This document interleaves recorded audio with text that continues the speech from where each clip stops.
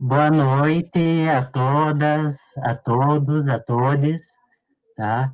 É mais um dia da nossa queridíssima Saeb, né? Nossa terceira live aqui no YouTube. Hoje nós temos duas convidadas excepcionais, né? A professora Ione Jovino e a professora Aparecida de Jesus Ferreira. Tá?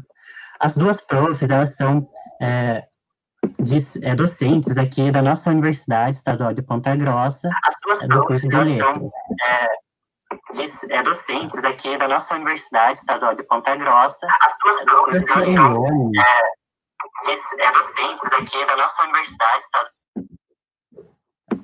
a professora Ione possui graduação em Letras pela Pontifícia Universidade Católica de São Paulo, mestrado em Educação pela Universidade Federal de São Carlos, com doutorado em Educação e estágio pós-doutorado em Educação na mesma universidade. E é docente do Departamento de Estudos da Linguagem da UEPG e do mestrado em Estudos da linguagem. É integrante do núcleo de relações étnico-raciais, gênero e sexualidade da UEPG. A professora Aparecida de Jesus Ferreira possui pós-doutorado e doutorado em educação de professores e linguística aplicada pela Universidade de Londres, Inglaterra. Mestrado em Linguística pela Universidade Estadual Paulista Júlio de Mesquita Filho e graduação em Letras Inglês pela Universidade Estadual do Oeste do Paraná.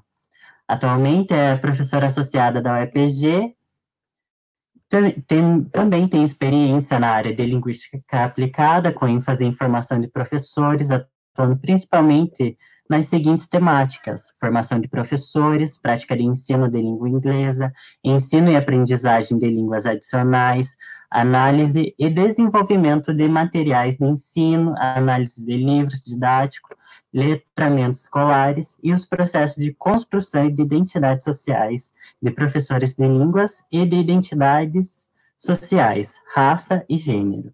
Então, professoras, né, depois desse, é, dessa apresentação aqui, que a gente poderia ficar algumas horas com esses currículos maravilhosos que vocês têm, é, gostariam de é, falar mais alguma coisa, dar um oi pro pessoal?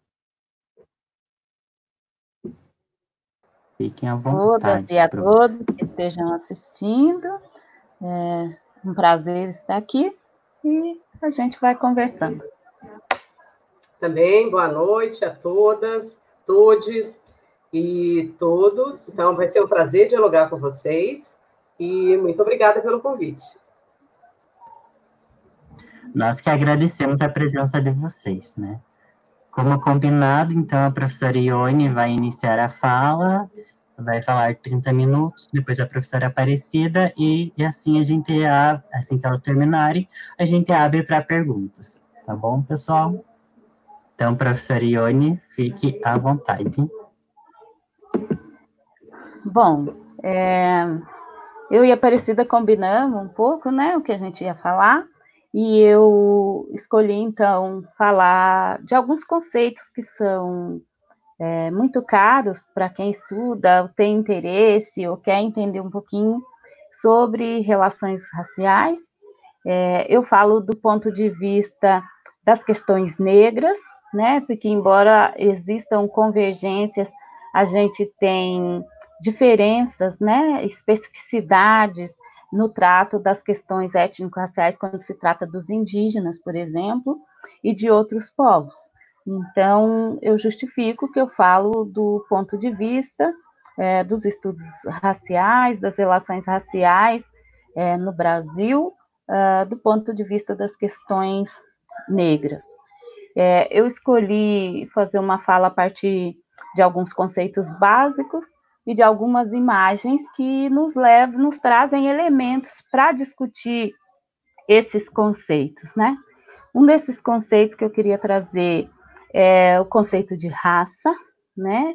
E acho importante trazer o conceito de raça porque a gente está é, tá conversando com o público aqui, prioritariamente são estudantes de biologia, É, Para não me alongar, é, eu queria recomendar um texto do professor Kabengele Munanga que chama Uma abordagem conceitual das noções de raça, racismo e etnia, porque ele faz um histórico do uso do termo raça, né, e de como alguns campos, incluindo aí a biologia, contribuiu para que uh, existisse o termo raça, primeiro não aplicado a seres humanos, né, mas aplicado a plantas, depois animais, e aí depois que ele é trazido para o campo da, da diversidade humana, para explicar diferenças de raças, é, e depois inferiorização de algumas raças em, em relação a outra, é, mas eu não vou fazer todo esse histórico do conceito.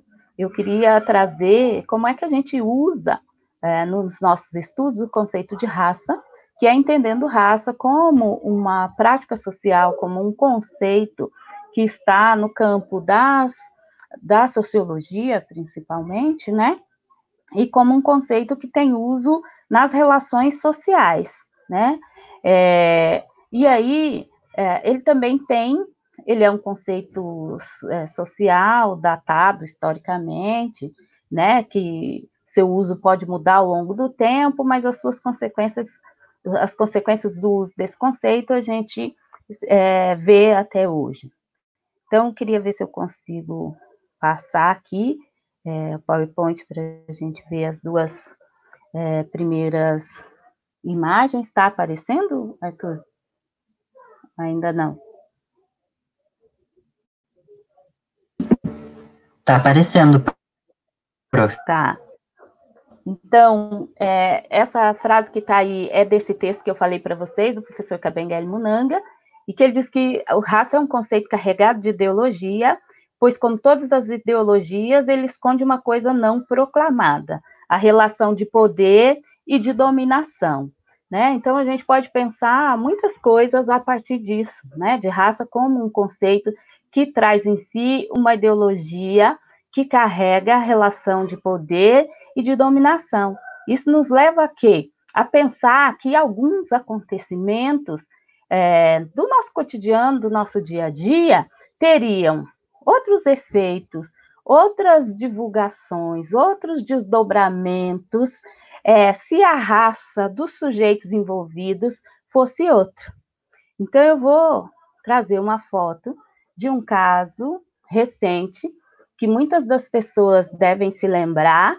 Vocês estão vendo a foto aí do menino Miguel, dele com a mãe e uma dele sozinha? Sim?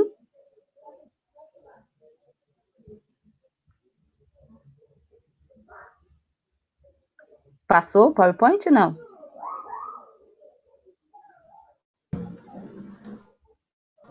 Passou, prof, dá para ver. É que os comentários, eles Aí, acabam né? ficando um pouco atrasados. Mas. Ah, tá bom. Isso. Tá, isso mesmo. Então, é, esse caso emblemático para a gente pensar como é que o conceito de raça opera. Né? Quem viu, se vocês se lembram do caso, do menino de 5 anos, que estava com a mãe enquanto a mãe trabalhava, né? e, e que a, a empregadora, a patroa da mãe, deixa o menino sozinho no elevador, ele acaba descendo um andar, sofre um acidente e cai. É, vamos imaginar essa cena. Não vou nem imaginar que fosse a empregada negligenciando o filho da patroa. Se ela tivesse negligenciado o cachorro, se ela tivesse sido negligente a ponto de deixar o cachorro sozinho, ele escapar e cair do nono andar. É, vocês imaginam que essa empregada, mulher, negra, nordestina, né, teria o mesmo tratamento que teve a sua ex-patroa? Ela teria espaço no Fantástico para se defender né, das acusações de negligência? Se ela tivesse negligenciado, não precisava ter terminado em morte, tivesse acontecido um acidente com os filhos da patroa, em que situação essa mulher negra estaria agora? Né? Então, eu acho que esse é um caso bem emblemático para a gente pensar como é que o conceito de raça opera e, junto com ele, o conceito também de, de racismo. né? E outros que podem derivar daí.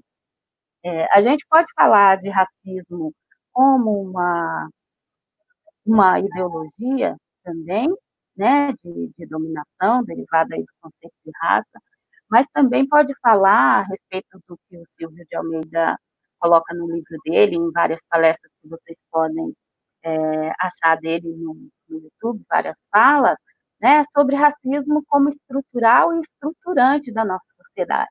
E ele diz que é estrutural e é estruturante porque ele atravessa a economia, a política e também a subjetividade.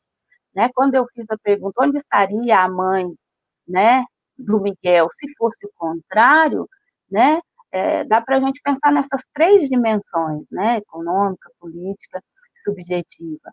Outra coisa que ele fala a respeito do racismo na sociedade brasileira é como ele é, faz parte da nossa normalidade. Né? Nossa sociedade é estruturada em cima do racismo e é normal não no sentido de aceitável, mas normal porque ele faz parte do nosso cotidiano, como forma é, de compreensão das relações de poder, é, como forma de racialização das pessoas negras, né? É, outro caso que eu não, não trouxe imagem aqui agora, mas emblemático que aconteceu nesses dias foi a quase nomeação, não nomeação, dispensa de um candidato a ministro da Educação negro que mentiu no currículo. Se mentir no currículo fosse algo relevante para esse governo, grande parte dos ministros que lá estão não seriam ministros. Aí vocês poderiam dizer, prof, está defendendo que ele deveria ser nomeado a despeito das mentiras? Não, eu estou dizendo como a gente pode fazer uma leitura racial disso e dizer que o que, o que deveria ser sério é que ninguém que se dispõe a ocupar um cargo de ministro minta no seu currículo. E quando isso ocorrer, que essa pessoa não seja nomeada, que essa pessoa seja dispensada, né? Dá para a gente lembrar até de outros governos progressistas de esquerda, é, em que ministros negros não foram tratados da mesma quando cometeram algum erro, ou não chegava nem a ser algum erro, mas quando a imprensa suscitou que poderia ter havido um erro, um uso indevido de um cartão corporativo, uma viagem que foi realizada de forma indevida, né? Esses ministros, aliás, ministras, né? Ministro também, caso ministro do esporte, é, ministro, é, o Orlando, é, esqueci o sobrenome, mas do esporte, Matilde Ribeiro, Benedita da Silva, todos esses, quando ocuparam cargos, ao menor sinal de um deslize, mesmo dentro de um governo de esquerda, eles não foram tratados da mesma forma que os ministros brancos eram tratados quando é, é quando numa situação parecida, né? Então, assim, não, não se releva, não se perdoa, não, não, o presidente não vem a público defender a sua escolha de um ministro negro se ele erra, né? É, claro, estou dizendo isso em condições normais de temperatura e pressão, como algo que a gente pode verificar que aconteceu mais de uma vez, mas é claro que pode haver exceções aí, né, nesse, nesse, nesse meio tempo. Bom, para a gente pensar no racismo como estrutural estruturante, eu selecionei algumas manchetes, é, selecionei um artigo e duas uh, manchetes de notícias de hoje, né? Para a gente pensar na dimensão política, a gente pode pensar, por exemplo, onde é que estão as mulheres negras na, na política? É, quem está acompanhando aí consegue me falar o nome de três deputadas negras? Consegue me dizer se existe um senador negro? Um, estou falando um, né? não estou nem dizendo quantos senadores negros. Consegue dizer o nome de um senador negro? Consegue dizer o nome de três deputadas negras, ou estaduais, ou federais, né? É, tem vereadores negros ou vereadoras negras na nossa cidade, né? Onde é que estão as mulheres negras na representação política? né? Só, não estou nem dizendo se é bom político ou não. É só uma questão mesmo de quantos existem, né? Então, tem ali o título de um artigo que diz da tia do café parlamentar, a subrepresentação das mulheres negras e a reforma política. E lá no finalzinho ela coloca, né, é, nas considerações, que a gente precisa avançar, né, na questão da representação feminina, negra, em todos os espaços de poder, para a gente poder mexer aí nessa questão política. O outro é uma manchete, né, é, uma notícia sobre o Atlas da Violência, é, desse mês, é, do, é de julho. É, o Brasil tem 1,3 homicídios, é, tem 13 homicídios de mulheres por dia, e a maioria das vítimas é negra. Né? Mulheres negras ganham menos da metade do salário de homens brancos no Brasil. Então, se a gente voltar lá com, essas, com esses títulos, se a gente voltar lá no que o Silvio de Almeida fala, dá para a gente evidenciar minimamente como o racismo é estrutural e estruturante, porque ele atravessa economia, política e subjetividade, né? atravessa a vida, o dia a dia das pessoas, né? E como racializa ah, também ah, as pessoas negras, né? Só para a gente dar um exemplo de como a gente racializa as pessoas negras, é, acontece alguma coisa lá no interior do Pará com alguém que se diz ou que é dito por outras pessoas como militante do movimento negro. E ele fala alguma coisa que não seja considerado um pensamento condizente com o movimento negro, ou que seja um pensamento mais de centro-esquerda ou de direita, as pessoas resolvem me marcar na publicação da fala desse sujeito, para que eu, como mulher negra, responda. Então, racializar as pessoas negras, isso é um exemplo de racialização, né? Como se eu tivesse que responder por todo e qualquer negro. Né? É, a gente costuma dizer que quando um negro erra, ele não erra sozinho, todos os negros erram, né? E todos vão pagar por esse por esse crime, por esse desvio, por esse deslize, né, de uma pessoa negra, né? A gente não marca pessoas brancas o tempo todo nas publicações para que elas respondam pelos atos das, das, pessoas brancas. A gente faz isso com pessoas negras, né? Tem uma pessoa que faz isso o tempo todo. Eu já tentei conversar, mas qualquer coisa que saia sobre pessoa negra, ela me marca. Um dia eu perguntei por quê, né? ela disse que, ah, é porque eu acho que te interessa, mas se me interessar, eu vou atrás. Eu procuro. Eu não tenho que ficar respondendo para você o tempo todo o que, que eu acho é, sobre tal assunto que saiu sobre questão negra, ou tal, que tal artista negro disse, ou que tal escritora negra disse. Né? Eu não tenho essa obrigação só porque eu sou negra. Eu poderia nem saber falar sobre isso. Eu sei, porque estudo né, sobre coisas que têm a ver com relações raciais, mas eu poderia não saber, mesmo sendo uma pessoa negra. E quando você fica fazendo isso o tempo todo, e eu não faço o contrário com você, você está me racializando, embora eu não, não te devolva isso na mesma moeda. Bom, também vi nessa semana, e acho que pode contribuir para a nossa conversa, um vídeo, eu não achei o, o original, e também eu teria que ver legendado de toda forma, porque não falo inglês, mas achei esse com uma legenda no, no site do Quebrando Tabu, uma fala da Viola Davis, né? É, eu só printei esse trechinho, né? Mas o contexto da fala, ela diz sobre a formação que ela tem, né? Sobre as as mídias e os, os, os, suportes onde ela já atuou, já atuou para TV, para cinema, para streaming de internet, é, para todas as mídias, né? Assim como grandes atoras, atrizes brancas, como Mary Streep, ela, ela cita mais duas, né? Mas ela diz, só que eu não estou nem próximo dessas mulheres. E ainda assim, é, em termos financeiros, ela diz, em termos de, de destaque nos papéis, em termos de quantidade dos papéis, e ainda assim, as pessoas me ligam e dizem, você é a Mary Streep negra. Né? Ela não é isso, ela é a Viola Davis, né?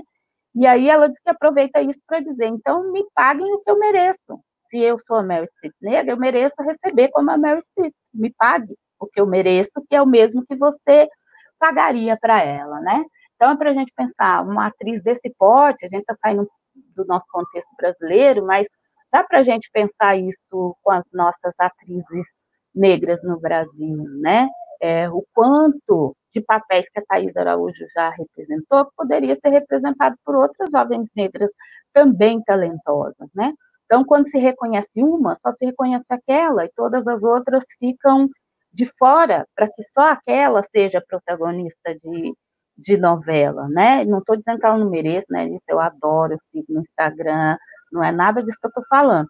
Mas eu estou dizendo que existem outras atrizes que poderiam também ter papéis de destaque. E ainda assim, né, é até injusto eu falar isso, na verdade, porque ela é, também não tem tantos papéis assim quanto é, outras atrizes mais ou menos da mesma idade, que têm a mesma trajetória que ela, mas são brancas, tem.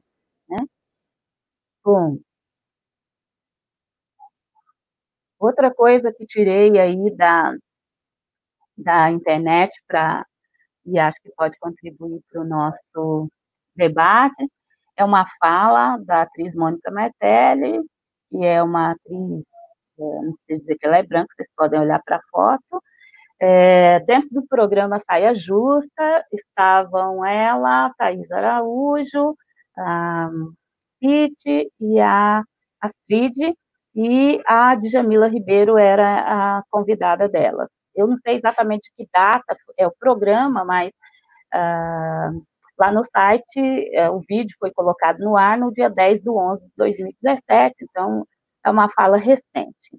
É, o assunto que estava sendo debatido por aquele grupo de mulheres, é, na, nesse trecho do vídeo, era uh, o conceito de lugar de fala, né, uma vez que a convidada era de Jamila Ribeiro, que escreveu um, livro chamado Lugar de Fala.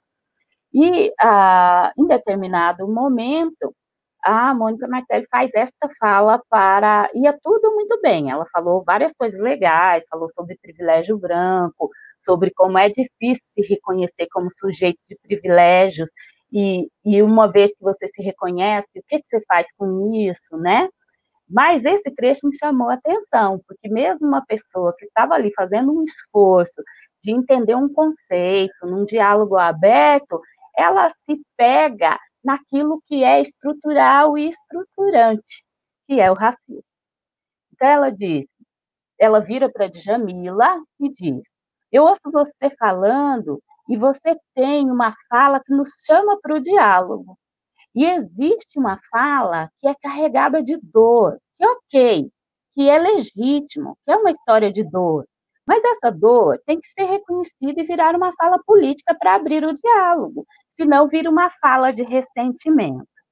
Olha, para quem é ativista negra, isso é uma fala é, terrível, porque tem um monte de coisa aí que tem a ver com o próximo slide, deixa eu ver se eu consigo passar tem um monte de coisa para a gente conversar nessa fala, que é como o discurso trabalha na reprodução do racismo, né? É o Van Dijk, que é um linguista branco, homem, holandês, mas que tem uma circulação muito grande aqui no Brasil e que é reconhecido como uma das pessoas que traz para o campo da análise do discurso a análise do racismo, né? Ele diz que o discurso desempenha um papel preponderante na reprodução do racismo. E o que eu estou chamando de, de, discurso é, assim, grosso modo, essa, o que a gente fala, o que a gente escreve, isso é o nosso discurso, né? As imagens que a gente seleciona, né? O discurso ele desempenha um papel preponderante na, na reprodução do racismo, porque ele é uma prática social do racismo, né? E, ao mesmo tempo, ele fala que ele é fonte para as crenças racistas das pessoas. Então, tudo aquilo que a gente fala, todos os memes racistas que a gente reproduz, né, todas as brincadeiras racistas que a gente faz ou já fez, tudo isso é uma fonte de construção de conhecimento racista. E muitas das pessoas não vêm para a universidade para ter essa conversa que a gente está tendo agora, né, para poder pensar na desconstrução disso. Grande parte das pessoas, infelizmente, vai passar é, a vida é, acreditando naquele discurso racista que foi construído em, em, alguns meios, dentre eles os midiáticos, o livro didático, né? E ele fala também uma coisa interessante, que são as estratégias discursivas de negação do racismo. Ao mesmo tempo que a gente vive numa sociedade estruturada e, e, que se estrutura né, a partir do racismo, ela também nega o racismo o tempo todo. E ele diz que o mesmo discurso que a gente usa para construir o racismo, a gente usa para negar. Então, existem é, algumas estratégias discursivas. Dentre elas, a negação do ato, né? Quando alguém é pego numa situação racista, fez um discurso racista, a primeira coisa que ela vai fazer é montar uma cena para dizer: não, eu não fui racista, esse ato não foi racista. E aí ela tem um, um, uma série de, né, de justificativas, de elementos, de, é, de argumentos de autoridade, vamos dizer assim, para poder é, dizer, né? Eu não fui racista, não posso ser racista, porque eu tenho um amigo racista, né? Eu até já beijei um negro, eu tenho um amigo racista, não, eu tenho um amigo negro, eu até já beijei um negro, já até fiquei com um negro, já até namorei um negro, né? Minha melhor amiga é negra, como é que eu vou ser racista? Enfim, lamento informar, nada disso impede uma pessoa de ser racista, né? É, negação do controle, né? Negação de que ela estava numa situação de poder, por exemplo, e que ela se sentia superior e por isso ela aciona esse discurso racista. Negação da intenção, né, que cabe nisso que eu já falei. Negação do objetivo, né? É, também mitigações por meio do emprego de minimizações e eufemismos, né? É, a expressão mimimi, por exemplo, pode ser é, ou vitimização, né? São expressões que as pessoas sempre sacam para dizer que a outra não foi vítima de racismo, que aquele ato que ela está dizendo que é racismo não é racismo, né? É, ele fala também de outras estratégias cognitivas e sociais relacionadas a justificar, né, a, a se desculpar, alegação de que foi provocado, responsabilizar a vítima, inverter a situação e se colocar como vítima, né? Tudo isso a gente pode observar aí é, a partir do discurso. Então, se a gente volta lá é, para a fala da Mônica Martelli, por que é que a fala não pode ser carregada de dor? É, existe um mínimo de dor aceitável que eu posso pôr na minha fala para eu ser considerado uma pessoa que abre o diálogo, né? É, o diálogo não pode ser sobre a dor, ele só precisa ser é, feito a partir de uma suavidade. E quem não consegue tirar essa dor da fala? É, quais são os efeitos do racismo sobre essa pessoa que não consegue fazer a fala sem a dor, né? É... E aí, por último, ainda pensando no discurso e na reprodução do racismo, e de como ele, o discurso tem um papel preponderante na reprodução do racismo, uma das coisas que acontece é a desacreditar o uso do termo raça, né? Então a pessoa vai dizer para mim que o termo raça ele não é ah, mais utilizável por tal motivo, por tal motivo. Então vamos substituir por etnia e aí fica tudo lindo. A palavra etnia é linda, tem mais a ver com cultura, com língua, com território. E aí a gente não fala mais em raça, o uso do termo raça desaparece. Outra estratégia é a questão do falso universalismo, né? Que a pessoa vai dizer, ah, nós somos todos iguais, eu não vejo cor, eu não vejo diferença. E quando a gente fala na diferença, aí é que ela é, aparece, nos atrapalha, como se o nosso problema fosse a diferença. E não, na minha visão, né, na, daquilo que eu, a partir daquilo que eu estudo, que eu leio, nosso problema não é a diferença, mas quando essa diferença é transformada em desigualdade, em inferioridade. Aí, uma estratégia também é a consciência humana, né? As pessoas adoram me marcar quando vai chegando o 20 de novembro, naquele é, vídeo do Morgan Freeman falando da consciência humana, falando que se a gente parar de falar de racismo, racismo desaparece, enfim. E, por último, para ligar a questão da fala lá da Mônica Martelli, a eleição de negros e negras que sabem falar sem dor. Quem é que elege? Né? É, aproveitando que a discussão lá era lugar de fala, eu acho que dá para tirar já a apresentação, deixa eu ver, para eu poder finalizar e o pessoal me ver.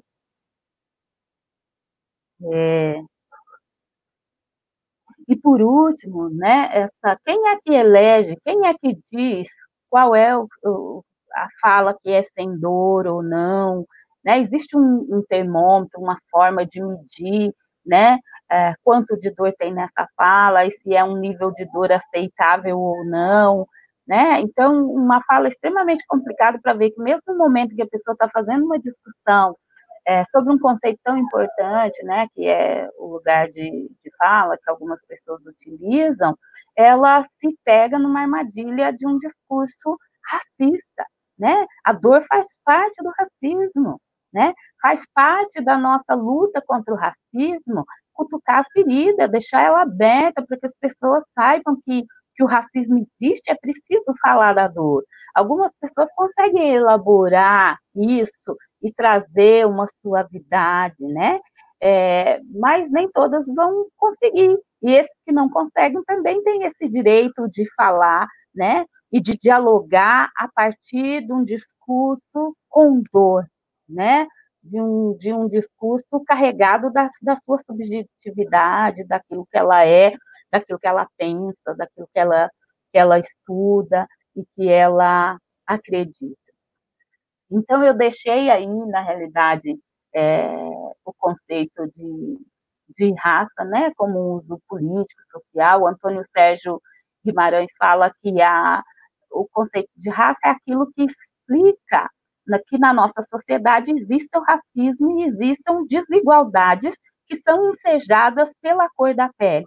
A gente é uma sociedade, a sociedade brasileira, uma sociedade que mata os jovens negros o tempo todo, né? E não tem como ler isso fora de uma, uma discussão de raça. Se é, para você ser morto, né, é, as características físicas entram. É, para você sofrer violência policial, suas características é, físicas contam, né? Então, é, enquanto isso existir, enquanto a gente tiver um número menor de negros na universidade, em cargos políticos, que não represente a, a, o que é a sociedade brasileira em termos de quantidade de pessoas negras, a gente vai falar de raça, então é, é nesse sentido que a gente usa. Né? E trouxe um pouquinho da discussão é, do Silvio de Almeida sobre racismo estrutural, de modo bem leve, né?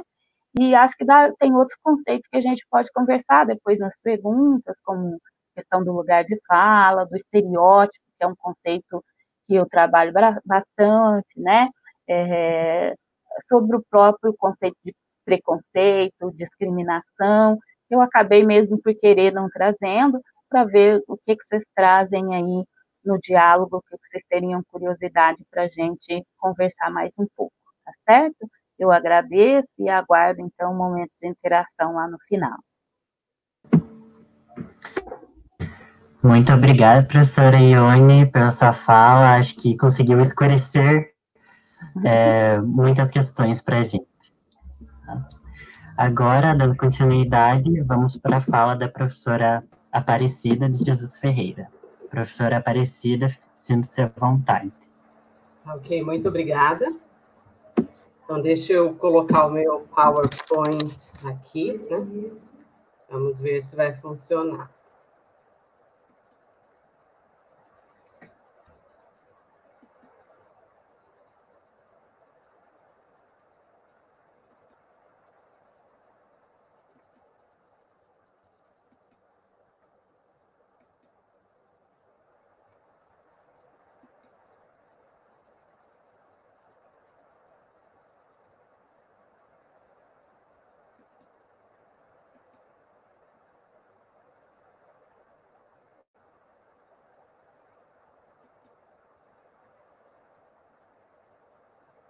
Está aparecendo, Arthur?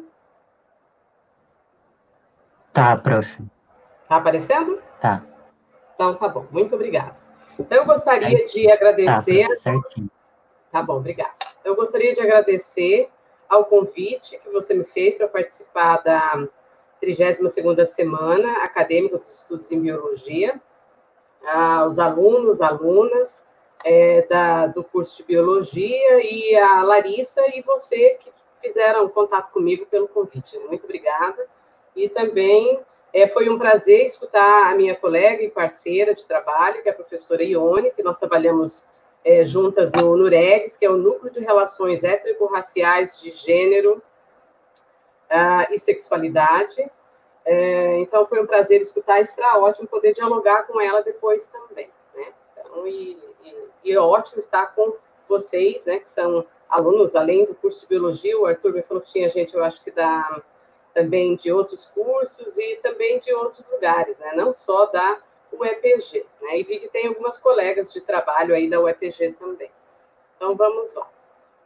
Então, eu vou falar um pouco sobre a questão de letramento racial crítico. Um, e dentro dessa questão de falar sobre é, o letramento racial crítico, um, é um conceito que eu tenho utilizado nas minhas pesquisas, né? E, e que remete um pouco a como é que a gente é, pode tratar desses conceitos, tanto na formação de professores e professoras, como também no nosso cotidiano, na nossa vida, em sala de aula, com nossos alunas e alunos também. Né? Então, como é que eu vou fazer a minha fala? Eu vou falar sobre a questão de letramento, letramento racial crítico, como surgiu o letramento racial crítico nas minhas pesquisas, e vou, a partir de uma análise de dois livros didáticos, né, um que foi utilizado no Brasil e o outro em Camarões, poder mostrar um pouco como é que a gente pode pensar na questão do letramento racial crítico, observando dois livros didáticos. É, a partir desses dois livros. Então, vamos lá. Então, Raça Ione já explicou, eu não vou colocar e nem vou tratar a questão de raça, porque ela já mencionou. A única coisa que eu vou falar é um pouco da questão de é, branquitude, porque isso vai aparecer na análise dos meus dados, né? Então, eu, ah, quando a gente fala sobre a questão de raça, Geralmente as pessoas tendem a trazer raça aliada à questão da pessoa negra, né?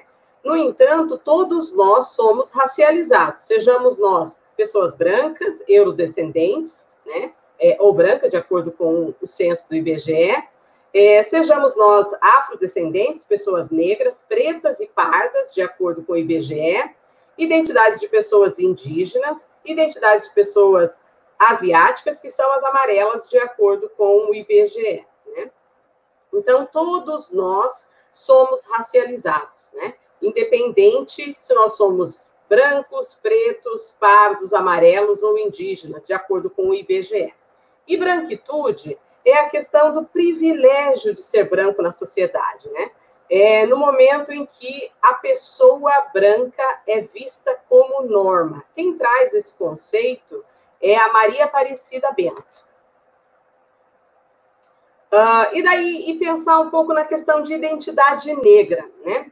É, pensando na questão de identidade negra, quem trabalha e quem trouxe esse conceito que está aqui é a professora Nilma Lino Gomes, e que ela tem um, um texto muito importante que ela traz que alguns termos e conceitos presentes no debate sobre relações raciais no Brasil uma breve discussão e que traz todas essas terminologias, inclusive a questão de identidade negra.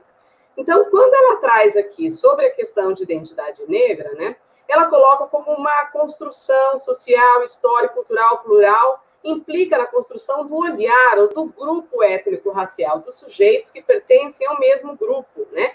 Pode ser étnico-racial.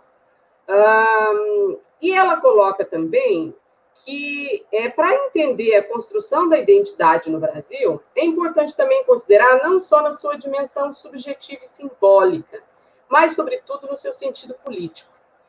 E com isso, ela está querendo dizer aqui que, é, para que a gente possa falar no Brasil sobre a questão ah, de pessoas negras e racializadas que somos, né?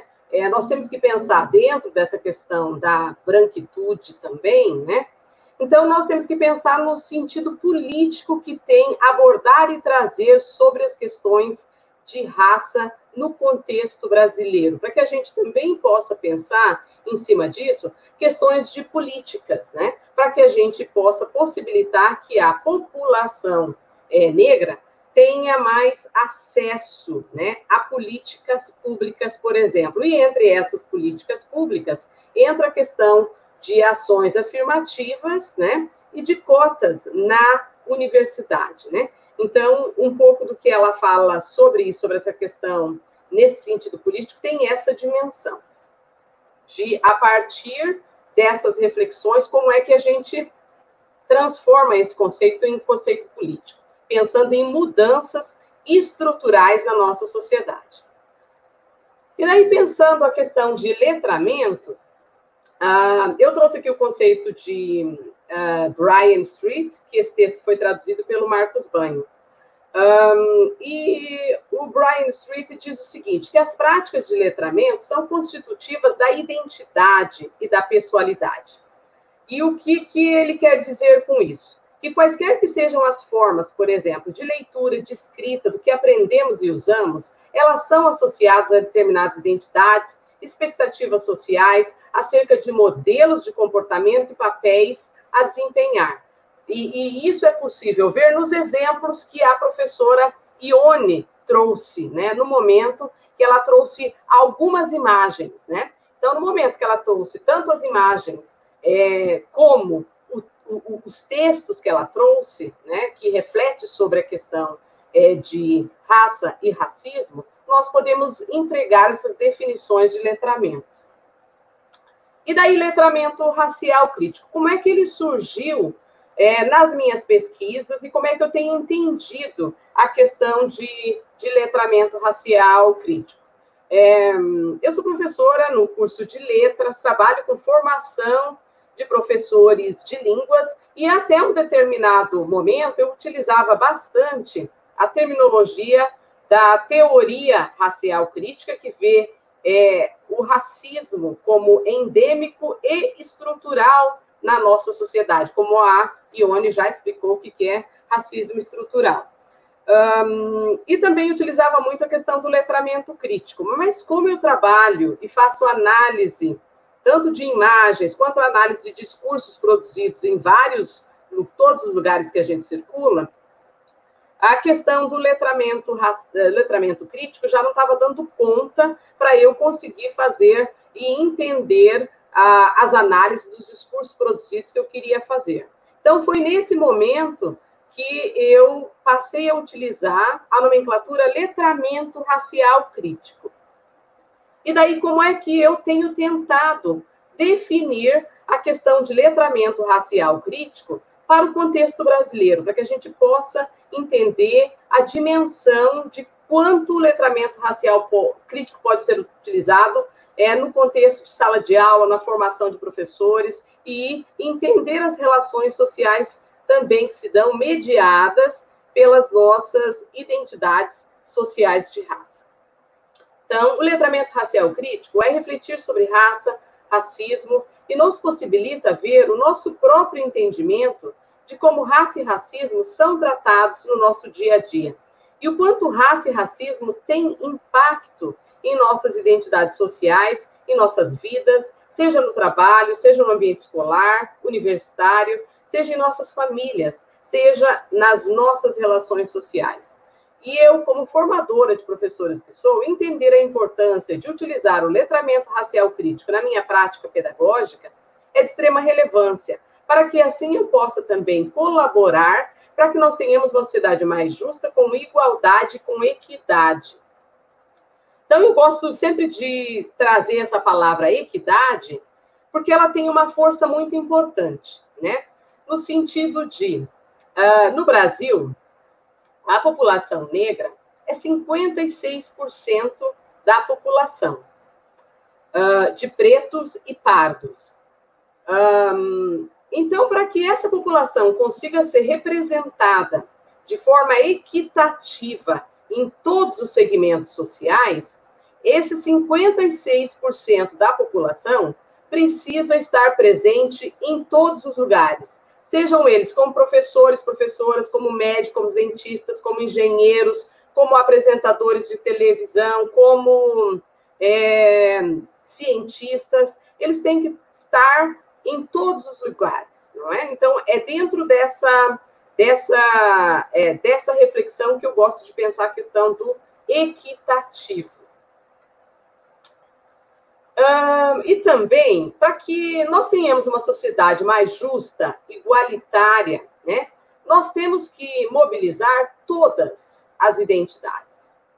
Ou seja, a identidade racial branca e a identidade racial negra, para refletir sobre raça, racismo e possíveis formas de letramento racial crítico e fazer um trabalho crítico no contexto escolar, em todas as disciplinas do currículo escolar.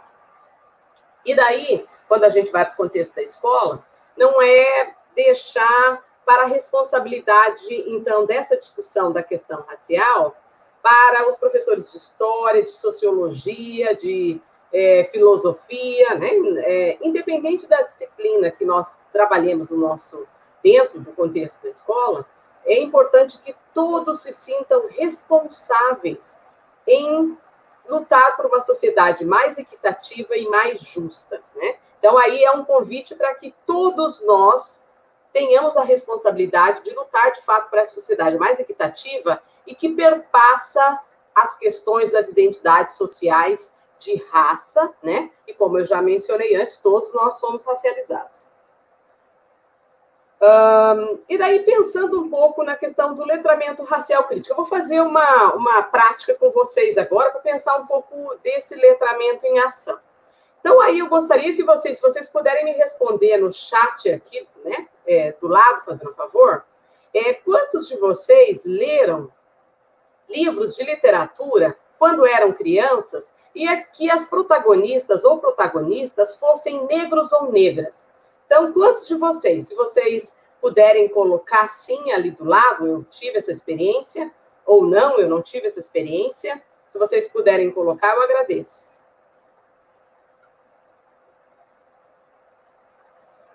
Tá.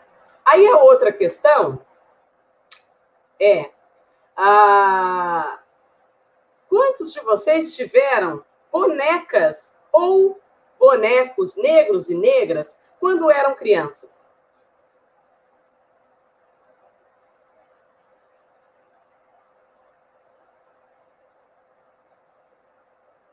Ok.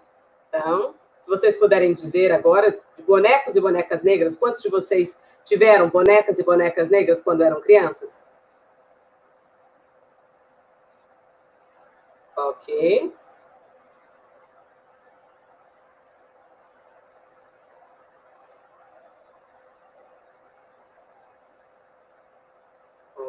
Ok, obrigada. Não tive, não teve.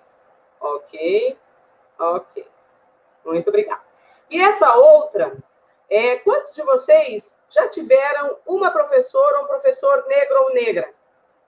Dentro do contexto, se vocês puderem colocar, eu já tive um professor ou eu não tive, um professor negro ou negra.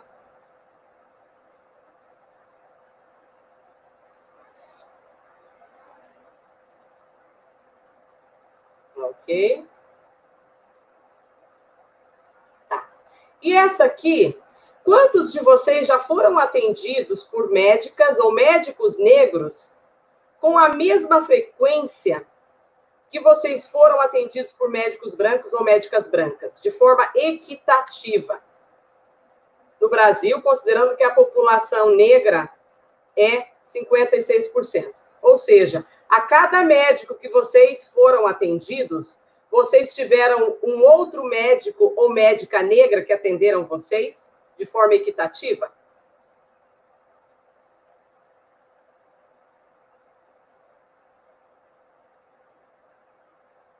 Ok.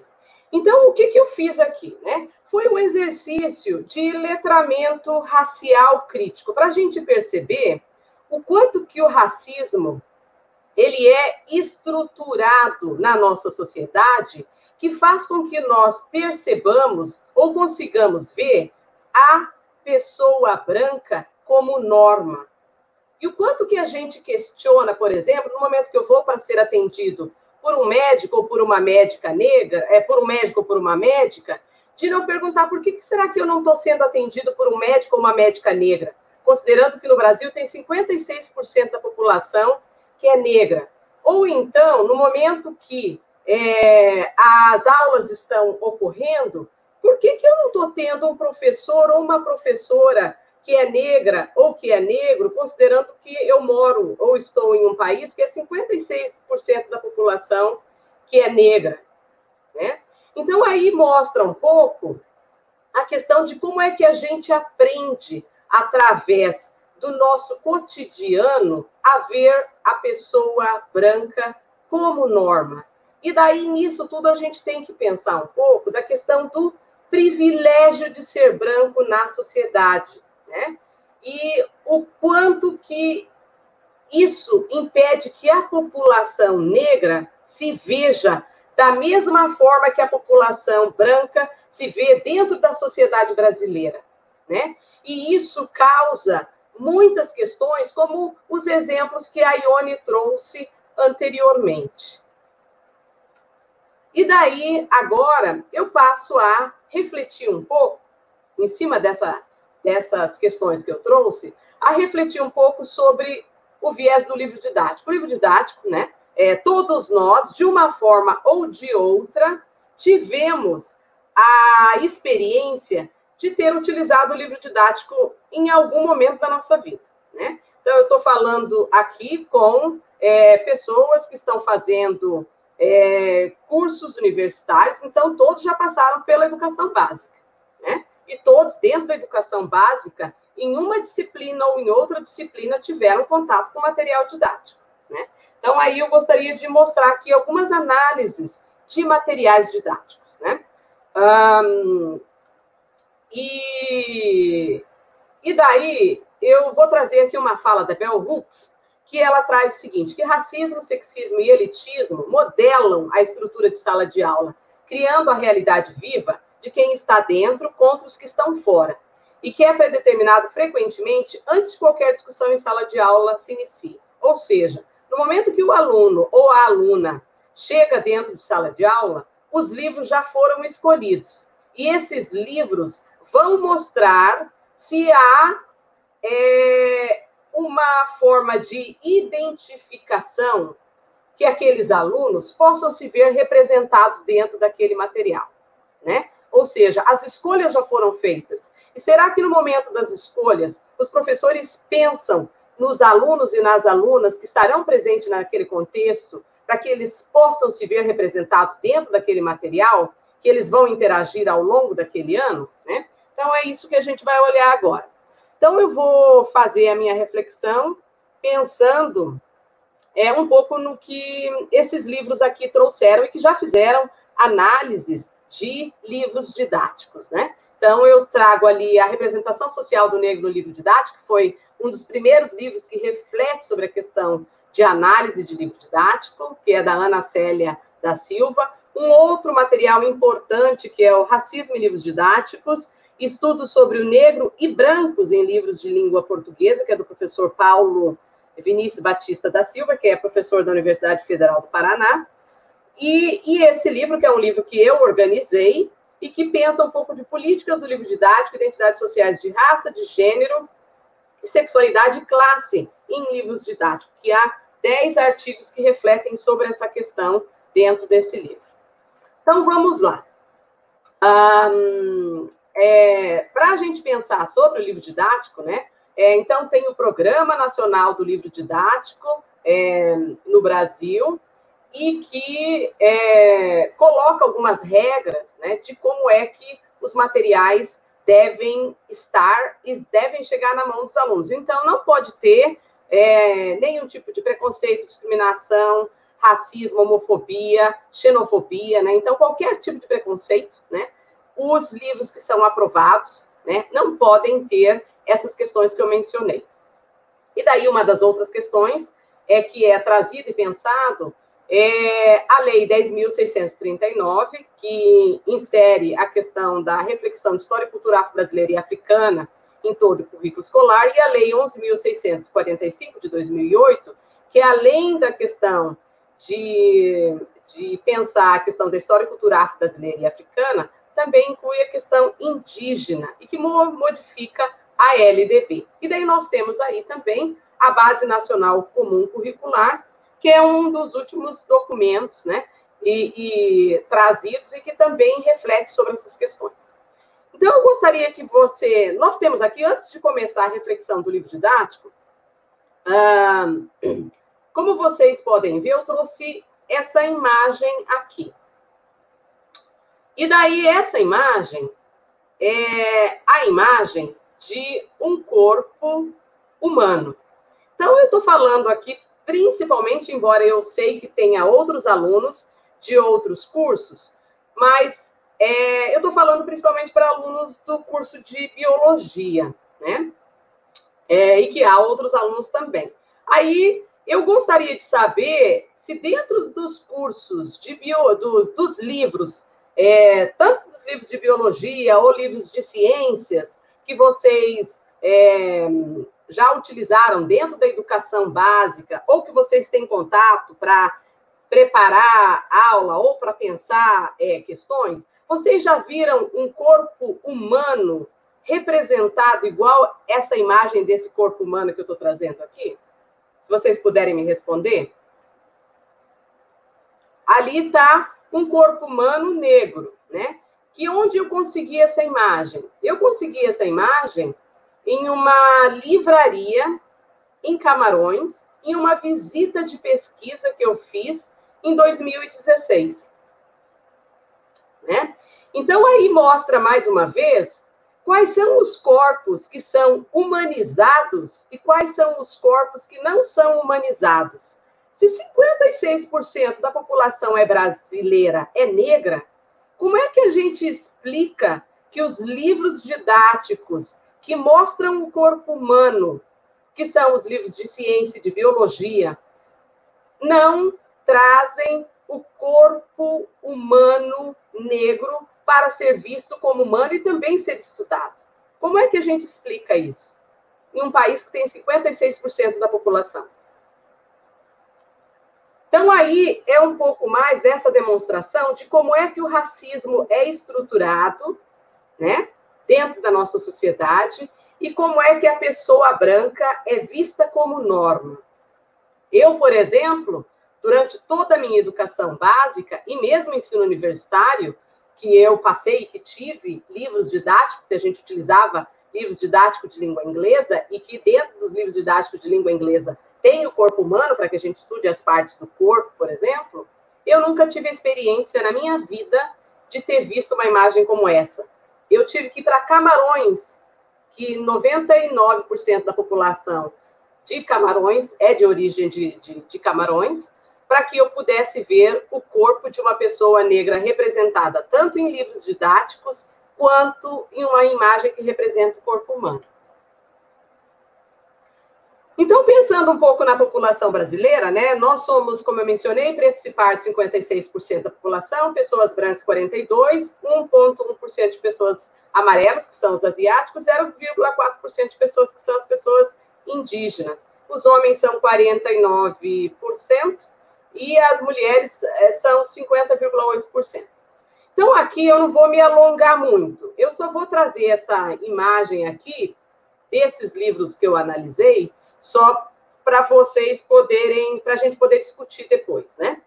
Um, então, aqui, quando eu fiz é, uma análise de um livro didático do ensino fundamental aprovado pelo PNLD do sexto ano, um, eu observei dentro desse livro, né, é, quantas eram as pessoas brancas representadas e quanto eram as pessoas negras representadas. E eu fiz uma análise dessa classificação, pensando em profissões e atividades intelectualizadas exercidas por essas pessoas dentro do livro didático e é, atividades familiares e atividades de lazer.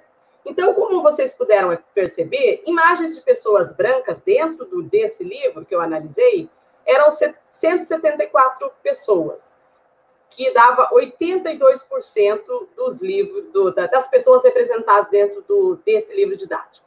E imagens de pessoas e mulheres, de, desculpa, de mulheres, homens e crianças negras eram 38 pessoas, ou seja, 17,94%, né? Então, as pessoas negras aparecem 101 vezes mais, enquanto as pessoas negras aparecem é, né, fazendo atividades intelectualizadas, né, 15 vezes. Então, isso tem muito a dizer, né, porque demonstra um pouco da relação do poder simbólico do que é ser branco na sociedade, em que aparece uma pessoa branca representada fazendo várias atividades intelectualizadas e profissionais majoritariamente. Né? Um, então, tá. Aí eu vou falar um pouco de, das questões de é, atividades familiares, né? Então, como vocês puderam perceber ali dentro das atividades familiares, uh, aparecem é, várias famílias, no entanto, aparece um número de 40 famílias fazendo uh, atividades, é, famílias brancas, e 14 famílias fazendo, uh, de pessoas negras, fazendo atividades dentro do livro didático, ou seja, 74% é, das pessoas que aparecem no livro didático com as suas famílias são brancas. E 25% são negras, né? Então, dentro desse, desse material, né, é, o que, que foi possível perceber? Que a, as mulheres é, dentro das famílias, né, haviam famílias que é, tinham só mulheres, né? E dentro das famílias que tinham só mulheres, o número de mulheres negras que estavam cuidando dos seus filhos como mães sozinhas eram muito maiores do que o número de mulheres brancas cuidando dos seus filhos sozinhas. Isso demonstra um pouco da questão de estereótipo, né? é, de que as mulheres negras são deixadas sozinhas, ou então de que os homens abandonam as mulheres negras, né? Um, então, tá certo. Então, aí mostrando um pouco de atividades de lazer. Aqui, é, como vocês puderam ver na imagem, as atividades de lazer aparece é, uma quantidade de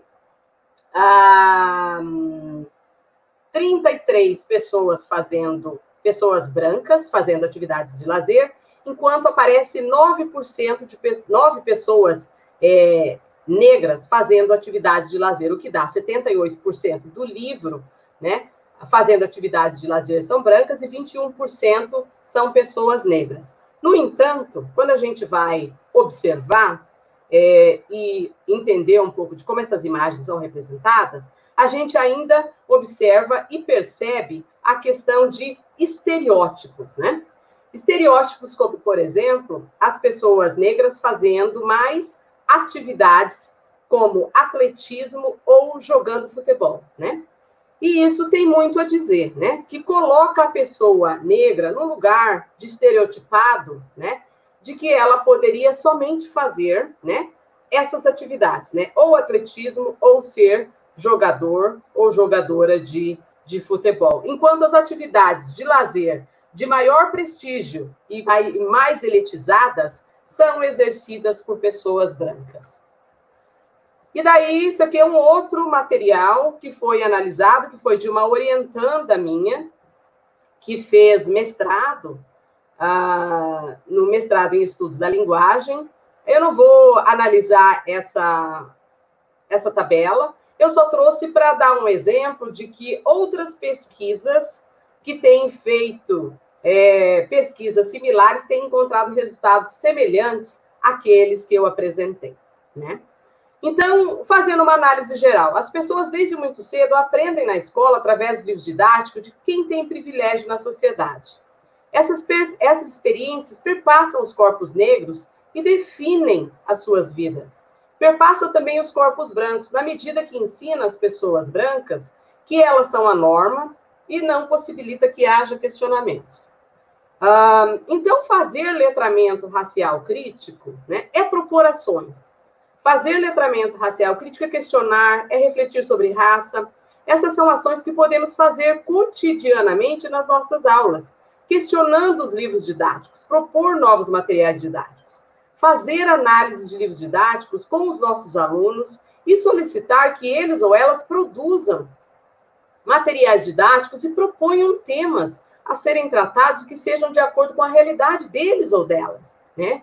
Refletir nos cursos de formação de professores sobre análise, desenvolvimento e avaliação de livros didáticos e a proposição de materiais didáticos também. As pessoas envolvidas passam de consumidores a produtores de materiais didáticos. nas referências, por exemplo, utilizadas nos cursos de formação de professores e professores. Quem são as referências? Vocês prestam atenção, por exemplo, para ver quem é que os textos que estão sendo lidos como base para as disciplinas, quem são essas pessoas? Elas são pessoas que têm um perfil somente eurocêntrico ou são pessoas negras, indígenas, né, que também produzem conhecimento e epistemologias, né? É, elas também são consideradas como textos a serem lidos nos cursos de formação de professores e nas disciplinas que vocês fazem dentro da universidade, né? Então, os livros lidos como parte é, né, da, da, que há autores e autores negros e negras e indígenas, as pessoas que fazem parte dos livros como protagonistas são negros, negras indígenas, como a gente já discutiu, né? E daí aqui eu vou só mostrar uma imagem é, do livro, mesmo livro, é, de um livro que, quando eu fui visitar Camarões, eu trouxe alguns livros de lá e eu fiz análise para fazer uma análise contrastiva, né? Então, aqui, o que, que a gente tem? Camarões, a, a população de Camarões, ela é a, 99% da população é uma população formada por grupos étnicos de Camarões, e menos de 1% é não africana, né? É, então, vocês viram a análise que eu fiz ali anteriormente de livros produzidos no Brasil para uma população de 56% da população que é negra, né? E aqui eu estou trazendo uma, um exemplo de uma outra análise de um livro didático feita em Camarões para uma população que se assemelha à população do Brasil, que é majoritariamente negra, se eles têm a mesma forma de produção de material para a população que mora em Camarões. Então, o meu argumento é esse. A, a, a população considerada se assemelha ao formato que a gente faz no Brasil, ou eles consideram a população que de fato reside em Camarões. Então, aqui está. Então, olha ali. Fotos e imagens de mulheres e homens e crianças brancas. 4%. Foto e imagens de mulheres e homens e crianças negras, 96%. Ou seja, esse livro didático de Camarões, que é utilizado para a população de Camarões, né, representa e espelha a pessoas, as pessoas, né, que moram naquele país, né? E que quando a gente olha aquelas análises que eu mostrei, o mesmo não ocorre no Brasil. Né? Um, então, é importante refletir acerca do papel do livro didático e o poder que o livro didático tem de privilegiar algumas identidades sociais em detrimento de outras. E, a partir daí, o livro didático também empodera ainda mais as identidades sociais que já são privilegiadas. Né? E, nesse caso, né, é a, as identidades sociais de raça branca. Né?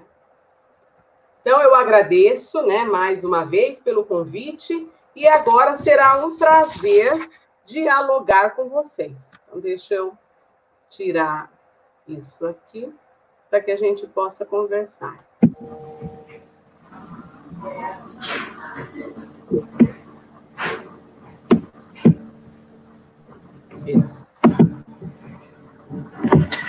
Muito obrigado, prof. Aparecida, assim, ótimas questões aí que, que a senhora também levantou. E agora, pessoal, a gente abre para perguntas, tá? É, eu acho que a, as perguntas a gente pode fazer em bloco, já que são duas palestrantes, e assim fica mais fácil de responder. Pode ser, professor? Pode, sim. pode ser, sim. Pode ser. Então, beleza. Tá? Pessoal, eu queria lembrar também que na, na descrição do vídeo vai fica o, o link para o formulário é, de contabilização das horas. Então, quem, quem é inscrito, preencha para ganhar as horas. Tá? Nós temos algumas perguntas que surgiram já no início. Uhum. Eu, an eu anotei duas, eu posso comentar? Duas perguntas Pode. que estavam nos comentários lá do YouTube? Lá do início. Uhum. É, tinha... Pode não, pode ser. Não, não ia ler a pergunta, não, até porque eu juntei algumas, mas tinha alguns comentários é. e uma questão sobre é, se branco também sofria racismo, e aí as pessoas mesmo ali já foram respondendo, mas eu achei que é interessante a gente conversar sobre isso, né? A pergunta acho que era qualquer pessoa pode sofrer racismo, né? Branco também sofre uhum. racismo. E aí algumas pessoas foram comentando ali, fizeram comentários bem legais e que eu só gostaria de complementar. Lá no início, quando eu trouxe a questão do texto do professor Kabengeri Munanga, ele falava do racismo como é, ideologia, né, que traz consigo relações de poder e dominação. Se a gente pensar nisso, como é que uh, as pessoas negras podem uh, ser racistas nesse sentido de uma ideologia de, de, é, de poder e dominação, se a gente não está nos espaços de maior poder, né? Eu não posso, por exemplo, dizer que a partir de hoje não pode mais ter, se discutir cotas na pós-graduação, mas o ministro da Educação pode. O ministro da Educação que fez isso não era militante, não era ativista, não era negro, não era indígena, né? Não era asiático, não tinha discussão sobre isso. Então, até para você, por exemplo, criar uma lei racista ou derrubar uma lei que era para promover o antirracismo, você precisa estar em, em determinados espaços e poder criar determinados discursos, poder ter poder para extinguir determinados discursos, né? Até alguém falou assim: ah, mas se alguém tirar sarro de uma pessoa branca porque ela fala errado, entre muitas aspas, é, não é racismo? Aí alguém respondeu: não, é preconceito linguístico. Então, todas as outras coisas têm, têm nomes. O racismo tem um nome, né? É, não existe racismo reverso, porque a gente não domina né? Esse país é governado por homens cis, héteros, brancos. Não existe a menor possibilidade de, de uma dominação gay por exemplo, porque os gays nem estão, a sua maioria, numa situação de poder dominar ninguém, né? Assim também, claro, já fugi da raça, né, vocês. É. Mas a mesma coisa acontece com os negros, com os indígenas, né? Que não, não detêm esses discursos, não podem produzir esses discursos normativos, é, não, não, não estão nas posições de mando e de poder, né? É, se estivesse, talvez a gente poderia, e sem contar a questão histórica, né? Que a gente tem um, um país que foi fundado em cima da escravidão, do genocídio dos indígenas, né? É, criando mitos sobre isso, de que os indígenas não se deixavam escravizar, porque os indígenas não sabiam trabalhar, né? É, cri, é, criando estereótipos, né? Sobre os povos indígenas, sobre os povos negros. Então, toda essa história de escravidão ela nem nos deixa pensar em, em, em racismo reverso ou que pessoas brancas é, sofrem racismo que não sofrem, né? Algumas pessoas falam da questão de classe, que se a gente resolvesse a questão da pobreza, olha, a gente vê, é, infelizmente, a gente tem uma das crenças, né, dos discursos racistas no Brasil, é esse, de que a questão social ela nos liberaria do racismo. Mas se fosse assim, é, jogador de futebol com notoriedade não passaria por episódios racistas, né? Que vai desde ser xingado de macaco dentro de um campo de futebol a ser parado pela polícia no seu carro do ano, né? No seu carrão. É, até que ele seja reconhecido por alguém, ele é só mais um neguinho. É, então, é, acho que dá para a gente pensar por aí. A outra questão, que era sobre o primeiro caso lá do, do, do Miguel, que alguém perguntou até que ponto as vidas importam, né? É, diante desse caso, diante do racismo estrutural. É, a gente vive numa sociedade que sempre tratou os negros como inferiores e as crianças negras sempre foram consideradas nada É, no século XIX, eu estudei século XIX para o doutorado. No século XIX, as crianças escravizadas com quatro anos, cinco anos, tinham uma expressão, elas já começavam a dar algum serviço. O que, que era começar a dar algum serviço? É, significava que essa criança já era colocada para realizar alguma função, que ia desde ajudar na costura, ajudar na cozinha, ajudar no campo, a, no trato com gado, com, com os rebanhos, né? Isso está lá na historiografia da escravidão, para quem quiser ver. É, tem inventários do século XIX que vão mostrar as, as pessoas escravizadas, elas eram um bem, né? É, então, quando alguém morria, né, se fazia um inventário, essa pessoa deixava testamento, ela deixava em testamento os seus bens para os seus entes. Dentre esses bens estavam as pessoas escravizadas. É, as crianças, com quatro, cinco, oito anos, eram deixadas assim, Ana, é, oito anos, mucama, já com a profissão que a criança já, com a função que a criança já exercia, né? É, Chico, 10 anos, pastor. É, então, nós, nós viemos numa sociedade que as coisas mudam a passos muito lentos. Minha mãe nasceu em 1929, com seis anos de idade, se eu não estou fazendo a conta errada, 1935, a minha mãe trabalhava, trabalhava mexendo tachos de doce em cima de um banquinho no interior de Minas Gerais, né? E aí você chega em 2021, alguém considera que uma criança, mesmo com tudo que a gente já viveu, o Estatuto da Criança e do Adolescente fazendo 30 anos, alguém imagina que você pega uma criança, põe dentro do elevador e ela se vira. Uma criança de 5 anos isso só pode ser lido a partir do racismo. Disso, de pensar que essa criança não é gente e que ela tem que saber que se virar.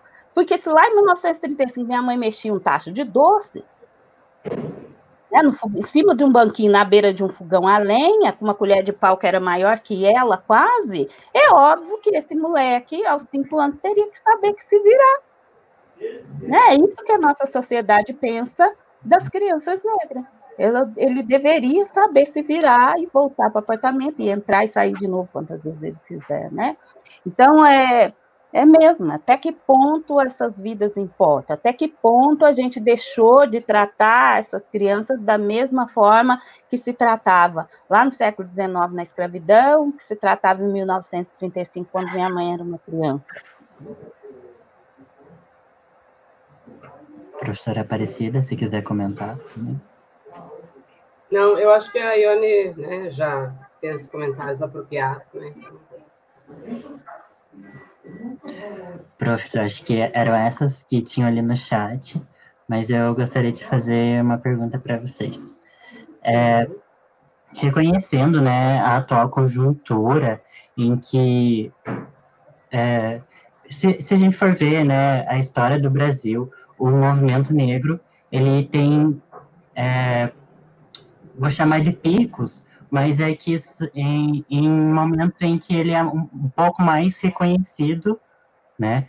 E, e, acredito que estamos vivendo um desses momentos em que é, há uma insurgência é, de reafirmar é, o compromisso com as questões étnico-raciais, né? E, e, mundialmente estão havendo muitas manifestações e atos, né? É, com as hashtags, né, Black Lives Matter. E eu gostaria de saber de vocês, o que vocês, como vocês estão vendo esse momento é, em que muitas pessoas estão se manifestando e se vocês têm, é, reconhecem que algumas, né, é, não necessariamente se importam com essas vidas, mas se importam com a imagem que querem passar. É, Querem que eu repita ou tá bom? Não, tá bom, tá ótimo. Uhum. É, posso começar, Ione? Sim. É, então, eu. Um, é, quando você falou de é, movimento negro, né, é bom pensar um pouco que a gente tem movimentos negros, né? É, e que daí esses movimentos negros, vai desde o movimento negro institucionalizado, como nós temos instituições, coletivos, né? É, e várias ações que são pessoas em movimento, fazendo ações para que nós tenhamos uma sociedade mais equitativa. Né? Então, é bom pensar, por exemplo, se a gente for ver aí em Ponta Grossa, né? Ah, aí em Ponta Grossa, é, é, nós podemos pensar que hum, nós temos, por exemplo, o Nuregs, né? O Nuregs faz ações, né? Então, que é o Núcleo de Relações Étnico-Raciais de Gênero e Sexualidade. Nós temos o, o, o coletivos de alunas e alunas negros e negras, né? Nós temos o coletivo de mulheres, né? É, negras é, na, é, em Ponta Grossa. Tem é, Sorriso Negro, né? Então tem vários, né? Ações é, que é, podemos chamar de movimentos negros e que estão agindo e fazendo ações para que a gente tenha uma sociedade mais justa e mais equitativa. Né? É, e daí, pensando um pouco na questão do, da, da, do Black Lives Matter e como que isso veio a dar essa questão desse boom, né? De todo mundo carregando plaquinha e a vida das pessoas negras importam, ou então, mesmo em inglês, Black Lives Matter, que no Brasil né, nós falamos português, e daí a gente precisa segurar a plaquinha de Black Lives Matter. Né? É, isso tudo surgiu é, não por conta das outras pessoas que já tinham morrido antes do George Floyd. Né? Por que, que a gente precisou é, que ocorresse essa tragédia com o George Floyd para a população brasileira e a população, né, daí replicar para outros lugares do mundo, né, se sentisse sensibilizada em lutar pela vida das pessoas negras, né? Sendo que nós temos cotidianamente no Brasil um contingente enorme de pessoas sendo assassinadas, né? Tanto do ponto de vista de crianças, mulheres, é, homens, né? Uh, travestis, gays, lésbicas, né? Então, nós temos um contingente enorme de pessoas sendo assassinadas, sendo violentadas, sendo estupradas, sendo, né? Então, é, aí, é, essas, é, no momento que a gente reflete e pensa sobre essas questões, elas têm que ir, assim, têm que ir além de segurar a plaquinha, né? De, de, de a vida das pessoas negras importam, ou então Black Lives Matter, né? É, e que ações que individualmente cada um de nós, né, pode fazer e tem feito no seu lugar de atuação para que de fato a vida das pessoas negras importe, né? É, e, e daí lutar junto com né, os nossos é, coletivos ou onde quer que a gente esteja seja através de sindicatos, seja através de grupos, seja o que quer que seja, para que a gente consiga ter ações, de fato, que vão para o judiciário, legislativo e também para o executivo. Né? Para que a gente possa ter ações efetivas que mudem a questão do, da estrutura de como a sociedade brasileira pensa e reflete sobre a questão racial. Né? E como a gente pode pensar nisso? Então, a gente só pode pensar nisso, né? Tendo ações efetivas, e essas ações precisam ser estruturais, porque o racismo no Brasil é estrutural. É importante discutir sobre as questões é, do racismo individual e de como é que ocorre no, no, nosso cotidiano, no nossa, nas nossas vidas, né?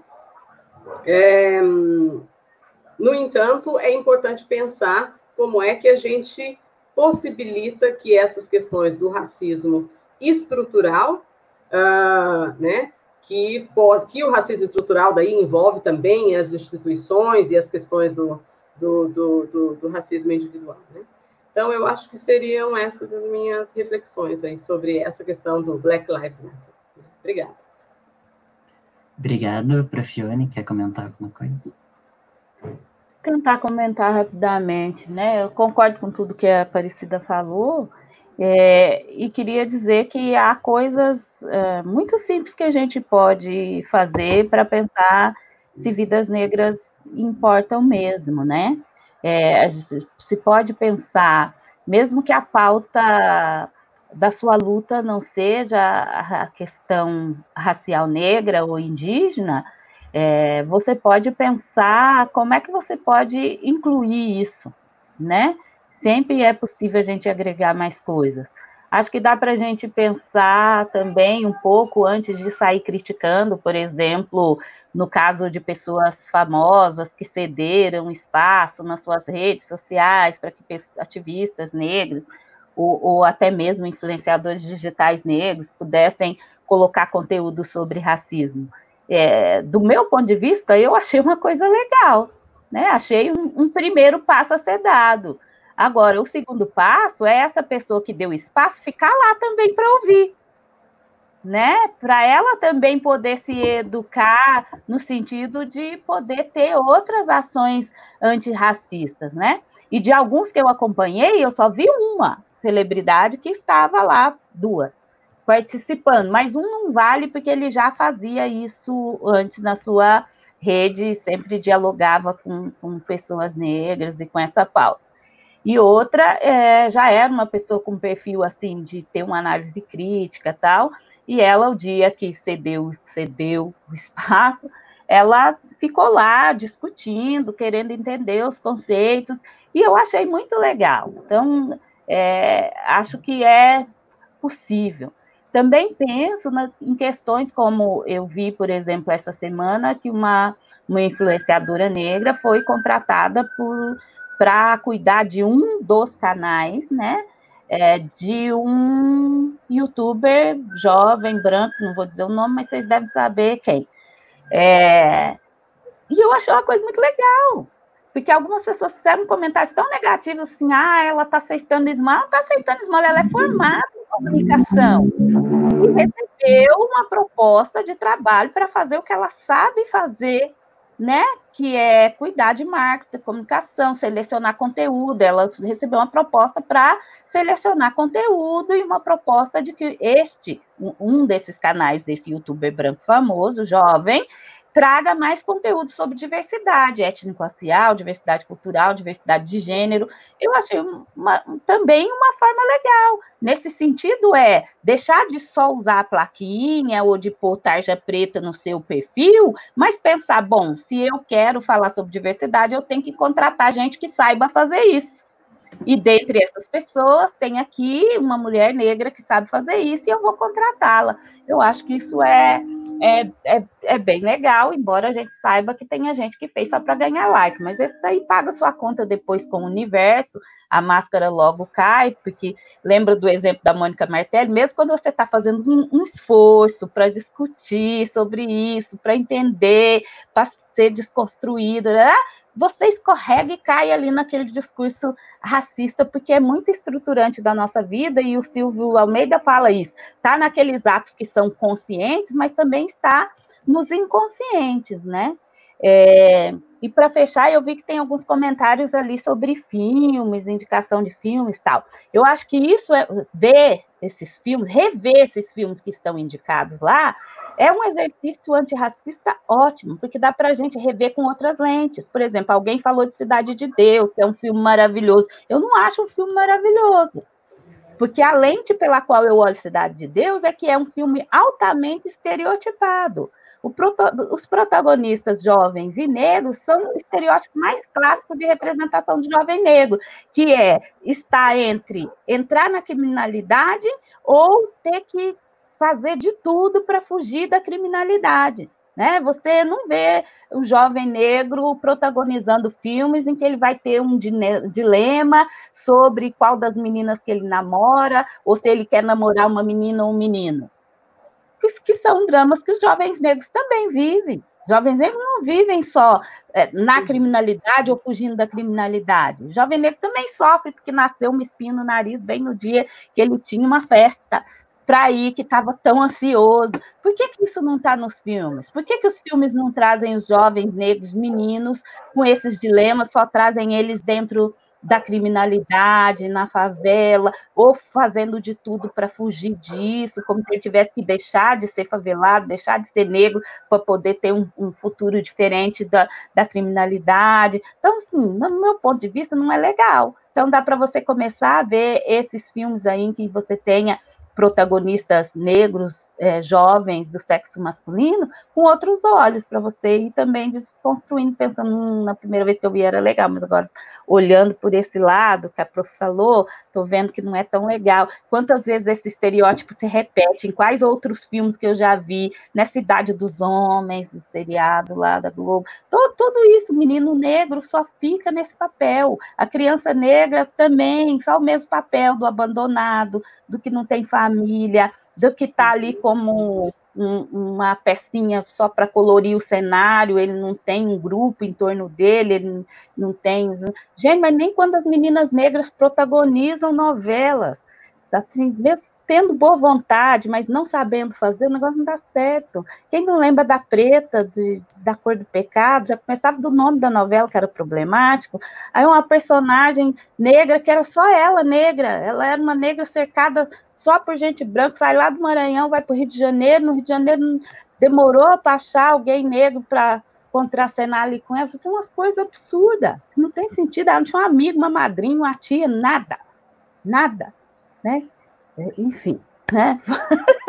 Não vamos incumpridar a conversa, mas são só jeitos aí da gente ir fazendo o nosso autoletramento racial crítico, né? Revendo essas coisas, pensando nessas coisas de outra forma, lendo a partir dos estereótipos racistas que são reforçados, né? E isso nos leva a pensar se vidas negras de fato, o quanto importa se a gente não conseguir nem enxergar esses estereótipos de representação.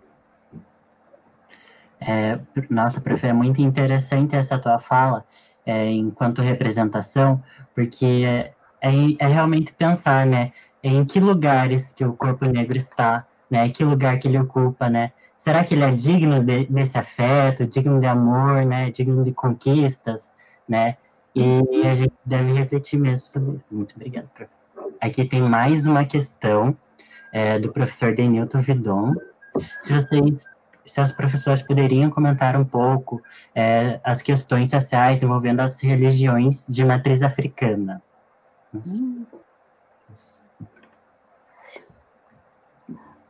Eu não sei. É, eu vou aproveitar. Que que ele, é, é. O que, que, ele gostaria que refletisse sobre? O que eu, a gente pode, né, talvez refletir é que né, as religiões de matriz africana são, que nem as outras religiões, têm que ser respeitadas, né? E que a escola é laica, né? E que não deve ser enfatizado, né? Nem uma ou outra religião dentro do espaço escolar e que é uma religião como as demais religiões que tem que ser respeitadas, né? No entanto, né? Nós sabemos o quanto que as religiões de matriz africana, por conta dos estereótipos em que há por falta de conhecimento a respeito das religiões de matriz africana, de tentarem fazer com que a religião tenha demérito e seja ou tenha um papel, algumas vezes, que seja minorizado perto das demais religiões. Né? E que isso tem sim a ver com o recorte racial. Né? Então, isso demonstra um pouco mais da questão do racismo estruturado na sociedade e que coloca as religiões de matriz africana como um lugar a não ser respeitado, né? E por conta disso a gente tem vários lugares e vários terreiros sendo depredados, sendo pessoas sofrendo aí é, ameaças de morte e muitas vezes são levadas à morte, né? Por falta da compreensão é, de que a religião é uma representação cultural de um povo, não é? E por que que no Brasil não se considera essa representação cultural das religiões de matriz africana e que se considera como uma religião menor do que as demais religiões e não há esse respeito para que essa religião, né, possa as religiões, né, de matriz africana possam ser exercidas na sua totalidade como muitas religiões são exercidas, né? Então, eu acho que E seria um pouco desse o meu comentário.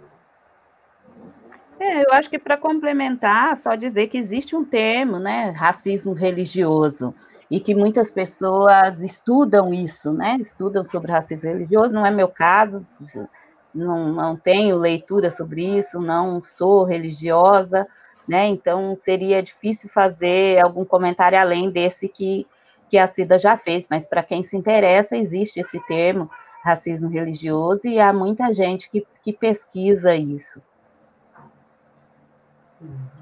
Obrigado por, por responder essas questões. É, acho que não tem outra questão ali por enquanto, mas eu gostaria de perguntar para vocês é, quanto, né, essas discussões que a gente está tendo aqui, elas são muito válidas e acredito, assim, que todas as pessoas deveriam participar e se interar sobre essas questões e assuntos, né? principalmente e coloco aqui como principalmente as pessoas brancas assim, porque não é os negros que toda vez precisam explicar o que é racismo e, e enfim essas questões sociais, né? Eu acho que não são pessoas negras é, que devem saber tudo sobre é, a cultura negra, é, não são pessoas negras que devem estudar, né? É, fazer parte dessa cultura como né, as religiões. E eu queria saber é, para vocês, assim, como a gente pode é, transpassar esse conhecimento, né, popularizar esses conhecimentos, né, que a gente está tendo uma breve conversa aqui ainda, mas, enfim, como a gente poderia é, popularizar esse conhecimento? Eu começo agora? É, pode começar, eu comecei antes, né? Tá. É, eu creio, a gente já tem muita coisa popular que a gente poderia que a gente pode divulgar, tem muita coisa boa feita, né? Por exemplo, no nosso blog do Nuregs, é uma estagiária que trabalhou lá por dois anos, ela organizou todas as dissertações que eu, a Cida, a Cláudia, as professoras é, orientamos, os TCCs, né, é, sobre temática étnico-racial.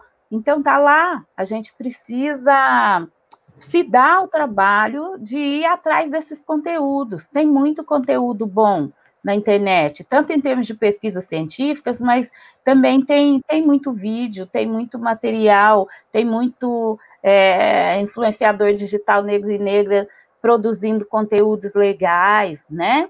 É, a gente precisa, acho que dá para pensar que ações, não consigo te dizer agora, que ações a gente poderia tomar, mas eu acho que cada um dentro da sua área, você, por exemplo, dentro da biologia, poderia buscar lá, montar um acervo, divulgar entre seus colegas. O que, que seria interessante para o pessoal da biologia que faz licenciatura em especial ler, mas também quem não faz, precisa saber o que, precisa saber sobre racismo estrutural, precisa saber sobre racismo institucional, precisa entrar lá naquele laboratório maravilhoso que ele foi contratado para trabalhar e ver por que será que nenhum dos meus colegas negros conseguiu estágio aqui, por que será que eu consegui?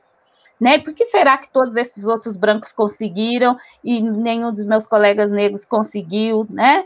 É, enfim, acho que dá para ir pensar que conteúdos seriam importantes para os seus colegas, né? Que conteúdos o colegiado do curso poderia eleger como importante para ser difundido no curso, para ter uma disciplina que trate disso no curso, porque existe lei que garante isso. Tem uma resolução é, do Conselho Nacional de Educação, Resolução 1 é, de 2004, que diz que todas as instituições têm, e, e todos os cursos, né, que é obrigação que tenha conteúdo sobre isso, que tenha disciplina que trate disso. Quantas disciplinas a UEPG tem? Né? Teu curso tem? Tem quantas? Quantos professores discutem? Mesmo que seja uma disciplina mais genérica, tipo educação e relações étnico-raciais, educação e conceitos básicos sobre relações raciais, ou conceitos básicos sobre relações raciais, nós não temos. E a gente pode lutar por isso, porque é nosso direito. Tem uma lei que não foi revogada, está lá, dizendo que a gente tem que fazer.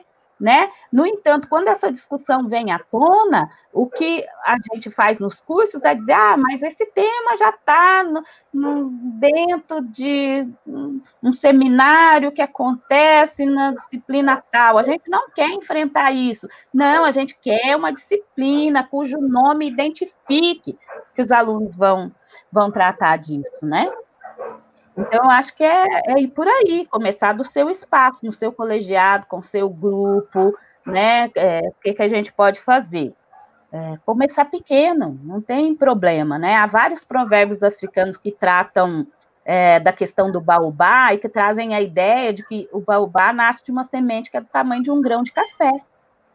Então, não interessa o quanto sua ação pareça pequena, você não sabe o tamanho do baobá que você está plantando entendeu? Todas as sementes são pequenas. Tem vários provérbios que juram em. E para fechar, alguém me pediu aqui, é, como eu fiz a crítica né, de Cidade de Deus, alguém me pediu a, a indicação de algum filme que eu considere não estereotipado. Eu gosto muito de um filme do Joel Zito Araújo, Joel Zito Araújo que se chama. É... Ai, gente, esqueci o nome do filme.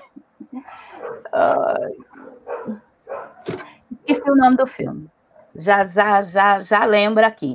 Mas é um filme, tem um conceito dentro dos estudos da comunicação que chama direito à normalidade, que é que as pessoas negras é, vêm da, da análise de propaganda, de peças publicitárias, né? Que é a ideia de que o negro possa não, não repre, é, representar um papel normal onde um branco estaria. Então, está numa propaganda de pasta de dente, numa propaganda de margarina, está usando o produto, que é muito difícil o negro aparecer fazendo isso, né, é, se servindo do produto, dirigindo o carro, né, o produto que está sendo vendido.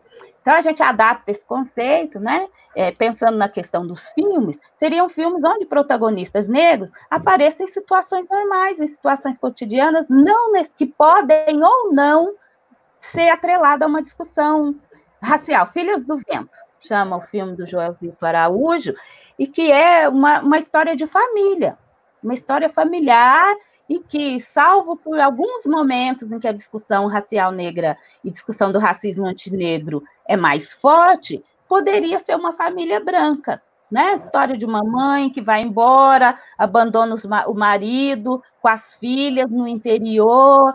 Aí esse, esse marido que agora passa a ser só pai, mora lá com as filhas. Uma das filhas quer ser artista, o homem todo cheio de preconceito, acha que filha não tem que ser artista, ela foge de casa, volta no dia da morte do pai, aí a irmã que ficou cuidando do pai tem toda aquela mágoa que a outra foi, foi embora, ficou é, ficou bem de vida e ela ficou lá trabalhando, cuidando do pai. Quer dizer, podia ser a minha família, podia ser a sua, podia ser de tanta gente, né? Que está ali naquela história. Então, acho que é, é, esse tipo de coisa. Tem um outro filme que é super assim, sabe aqueles filminhos assim, Sessão da Tarde? Bem nada a ver. O Homem que copia. É, meu tio matou um cara, é, é outro, estava confundindo. Que o Lázaro Ramos está é, no filme e tem um menino, que é, é um do, daqueles atores que fazia lá o, o Cidade dos Homens, o Laranjinha Acerola, não sei qual dos dois. Esse é o nome do personagem, quando estou lembrando o nome do menino agora, do ator, né? Que agora já está grande. Mas é um filme que tem muitos anos, e é um filme que eu gosto muito de discutir.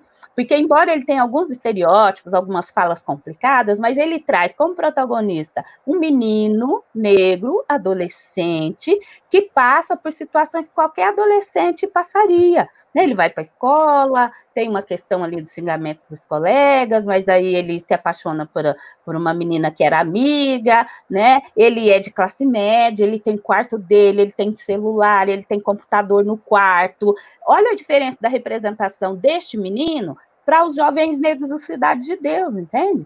Então é importante também, não estou dizendo que filme igual a Cidade de Deus não tem que existir, mas estou dizendo que a gente tenha que ter outros em que esses meninos negros apareçam representados de, de outras formas. Um menino que estuda, que vai para a escola de manhã, olha que privilégio.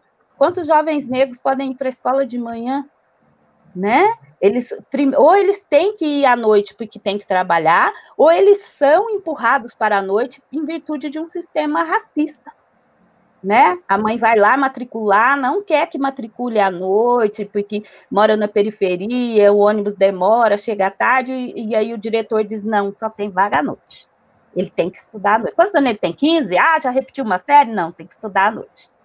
Né? Então, quando é que a gente tem esse menino negro, jovem, estudando de manhã, estudando numa escola particular. Então, é um filme que não, não é para discutir questão racial, mas que a gente pode discutir, pelo menos, essa parte de como o personagem é representado, um menino negro de classe média, que passa por dilemas que o um menino branco de classe média também passaria, né? É, mas tem uma lista aí de filmes muito legais. Eu, eu não estou na vibe das coisas de sofrimento, série tipo Olhos que Condenam, eu, eu não estou, pelo menos nesse momento de pandemia, eu não consigo ver esse tipo de coisa, né? Então, eu tenho preferido esses, essas histórias, assim, onde os personagens vivem esse direito à, à normalidade e com uma carga de dor um pouco menor, né? Mas que necessária, a gente precisa falar dela também, só não acho que o momento é propício para mim. Mas eu posso depois indicar tem até alguém que mandou aqui no meu WhatsApp. Ah, você podia fazer alguma coisa sobre filme. Tem um documentário que eu adoro que chama Eu Não Sou Seu Negro, que é sobre o James Baldwin. Adoro. Acho que é uma todo mundo deveria ver, tá? Então tem, tem muitas coisas legais aí. É isso. Prof. Aparecida, se quiser comentar. Isso, eu gostaria de falar um pouco do que você trouxe, falando um pouco de como é que a gente pode ter ações, né? e pensar um pouco sobre essas questões. Né? Eu sempre gosto de pensar né, é, a, a população negra como parte do patrimônio cultural brasileiro. Né? Então, como parte do patrimônio cultural brasileiro, né, as ações que cada um de nós individualmente né, teríamos que fazer é como é que eu me orgulho né, de ser brasileiro e ser brasileiro na sua totalidade, né? de entender que todos nós fazemos parte do patrimônio cultural brasileiro. E dentro desse patrimônio cultural brasileiro, né, como é que a gente se orgulha da população como um todo, né? E não só de alguns segmentos ou de algumas pessoas dentro dessa população, né? E e daí, trazendo né, outros exemplos aí, a gente tem os NEABs, né, que é Núcleos de Estudos Afro-Brasileiros, em mais do que 150 universidades no Brasil hoje. Né? Então, basta digitar Núcleos de Estudos Afro-Brasileiros e vão aparecer vários. E dentro desses núcleos, né, tem pessoas produzindo é, e disponibilizando livros em formato PDF, livros de literatura infantil em formato PDF gratuito para que sejam utilizados nas escolas. Então, tem uma imensidão de materiais. Né? E nesse momento de pandemia, é... tem live acontecendo de manhã, de tarde, de noite, de madrugada sobre essas questões raciais. E principalmente considerando as várias ferramentas que a gente tem, seja o Instagram, sejam é, através do YouTube, no Facebook, tem vários coletivos de negros e negras, é, de ativistas, de feministas, né, produzindo materiais fantásticos sobre essa discussão racial. Né? Dentro da universidade, fora da universidade, coletivos, gente produzindo é, slam, gente produzindo é, poesia, é, poemas de, de, de, de, periferia. Então, tem uma imensidão de, de materiais sendo produzidos e que trata dessa questão. Eu vi que, no, no, conforme a Ione foi falando, eu vi algumas perguntas, e daí eu gostaria de, talvez, comentar algumas dessas perguntas que foram trazidas ali. Alguém comentou, ah, mas será que não seria o caso de a gente trazer e reforçar a questão do processo de escravidão? né? Eu acho que a gente já está cansado de ficar escutando sobre o processo de escravização e escravidão. A gente quer nos ver representados, né? Como todas as pessoas são representadas. A gente quer ver nós nos vermos dando risada, brincando, fazendo tudo que qualquer outra pessoa faria. Então, sobre o processo de escravização, que é uma outra nomenclatura que é importante trazer, não de a pessoa como escravo, mas que ela foi como escravizada, e o processo de escravização, que não ocorreu porque as pessoas queriam, elas foram trazidas e colocadas num processo de escravizado ou de escravizada, foi um processo de escravização, sem que elas quisessem, né? Então, os livros de, de que todos nós já tivemos acesso, né? É, trouxeram muitas imagens dolorosas e que a gente não quer mais isso. O que nós queremos nos ver é, é, é nós queremos nos ver em capas de revistas, nós queremos nos ver sendo entrevistados nos melhores programas, nós queremos nos ver como nos livros de literatura infantil, nós queremos nos ver é, fazendo atividades, sejam elas quais forem, sem pensar em nos colocar em lugares estereotipados, né? E que nós possamos e, e temos o direito de ser felizes como qualquer outra é, pessoa que mora nesse território, né? Chamado Brasil, né? É, então, eu acho que é isso. E daí tem uma outra questão que foi colocada: as escolas não podem trabalhar com a questão racial por conta de questões governamentais. Não. As escolas podem e devem e são chamadas a trabalhar de forma obrigatória. Tudo bem que nós entendemos que nesse momento específico nós estamos passando por complicações, tanto do ponto de vista de regulamentação, quanto do ponto de vista de políticas que estão tendo, estão sendo mal interpretadas é, e de não termos é, é, uma direção por conta né, é, é, dos órgãos governamentais como deveriam fazer, e tem deixado a população um pouco confusa de que nós não podemos trabalhar com as questões raciais. Não, nós somos chamados a trabalhar com a Lei 10.639 é, 10.639 e 11.000, 10.639 e 11.645 de 2008, é, que trata da questão histórico-cultural afro-brasileira e a questão indígena, né, de forma obrigatória. Então, nós temos que tratar. A BNCC, que é a nova política educacional, ela traz essa questão também, né? Embora a BNCC, é claro que haja e tenha espaço para discussão e reflexão crítica sobre esse próprio documento, é, no entanto, ela traz essas questões lá, né? É, então, são questões que a gente é, precisa fazer uma leitura crítica de quais são as mensagens que esse, infelizmente, que esse governo está enviando e o que, de fato, a gente tem de regulamentação que nos assegura que nós podemos, sim, e devemos, é nossa obrigação, discutir essas questões dentro do contexto de, de sala de aula. Aí uma outra pessoa perguntou e falou: ah, mas a, mas a questão do, do Cidade de Deus, né? E você está falando que não é para ver, etc. Mas ele foi. Não, é para ver, gente. É para é, rever e fazer a crítica. Isso, é. Ele, tudo bem que ele pode ter sido um filme premiado, e que bom que foi um filme premiado naquele momento histórico, demonstrou uma determinada realidade do Brasil, etc, etc, etc, etc. No entanto, ele pode sim e deve ser criticado, porque a gente tem que olhar para o lente críticas, igual a Ione fez toda uma leitura crítica do livro e deu várias sugestões de outros aí. Né? Mas, é, a gente não está questionando o prêmio que o filme levou. Né? O que a gente está questionando é que há outras filmes e outras leituras que podem ser feitas daquele filme.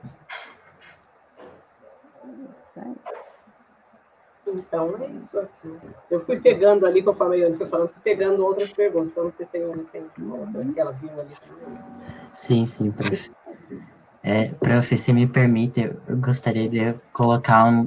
É, que na sua fala você fala, né, que a gente quer ver pessoas negras é, representadas como elas são, né, em uma vida normal, né, e, e eu gostaria de acrescentar, para além disso, né, que não fossem como apenas uma é, únicas, né? Eu acho que é, precisamos de várias pessoas, né? Eu acho e representadas como um todo, né? Como nesses movimentos, com essa pluralidade, né? De colorismos que a gente tem.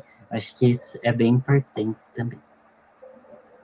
Como assim? Desculpa, você pode repetir? Como é que é? é? Não como pessoas únicas, como é que é?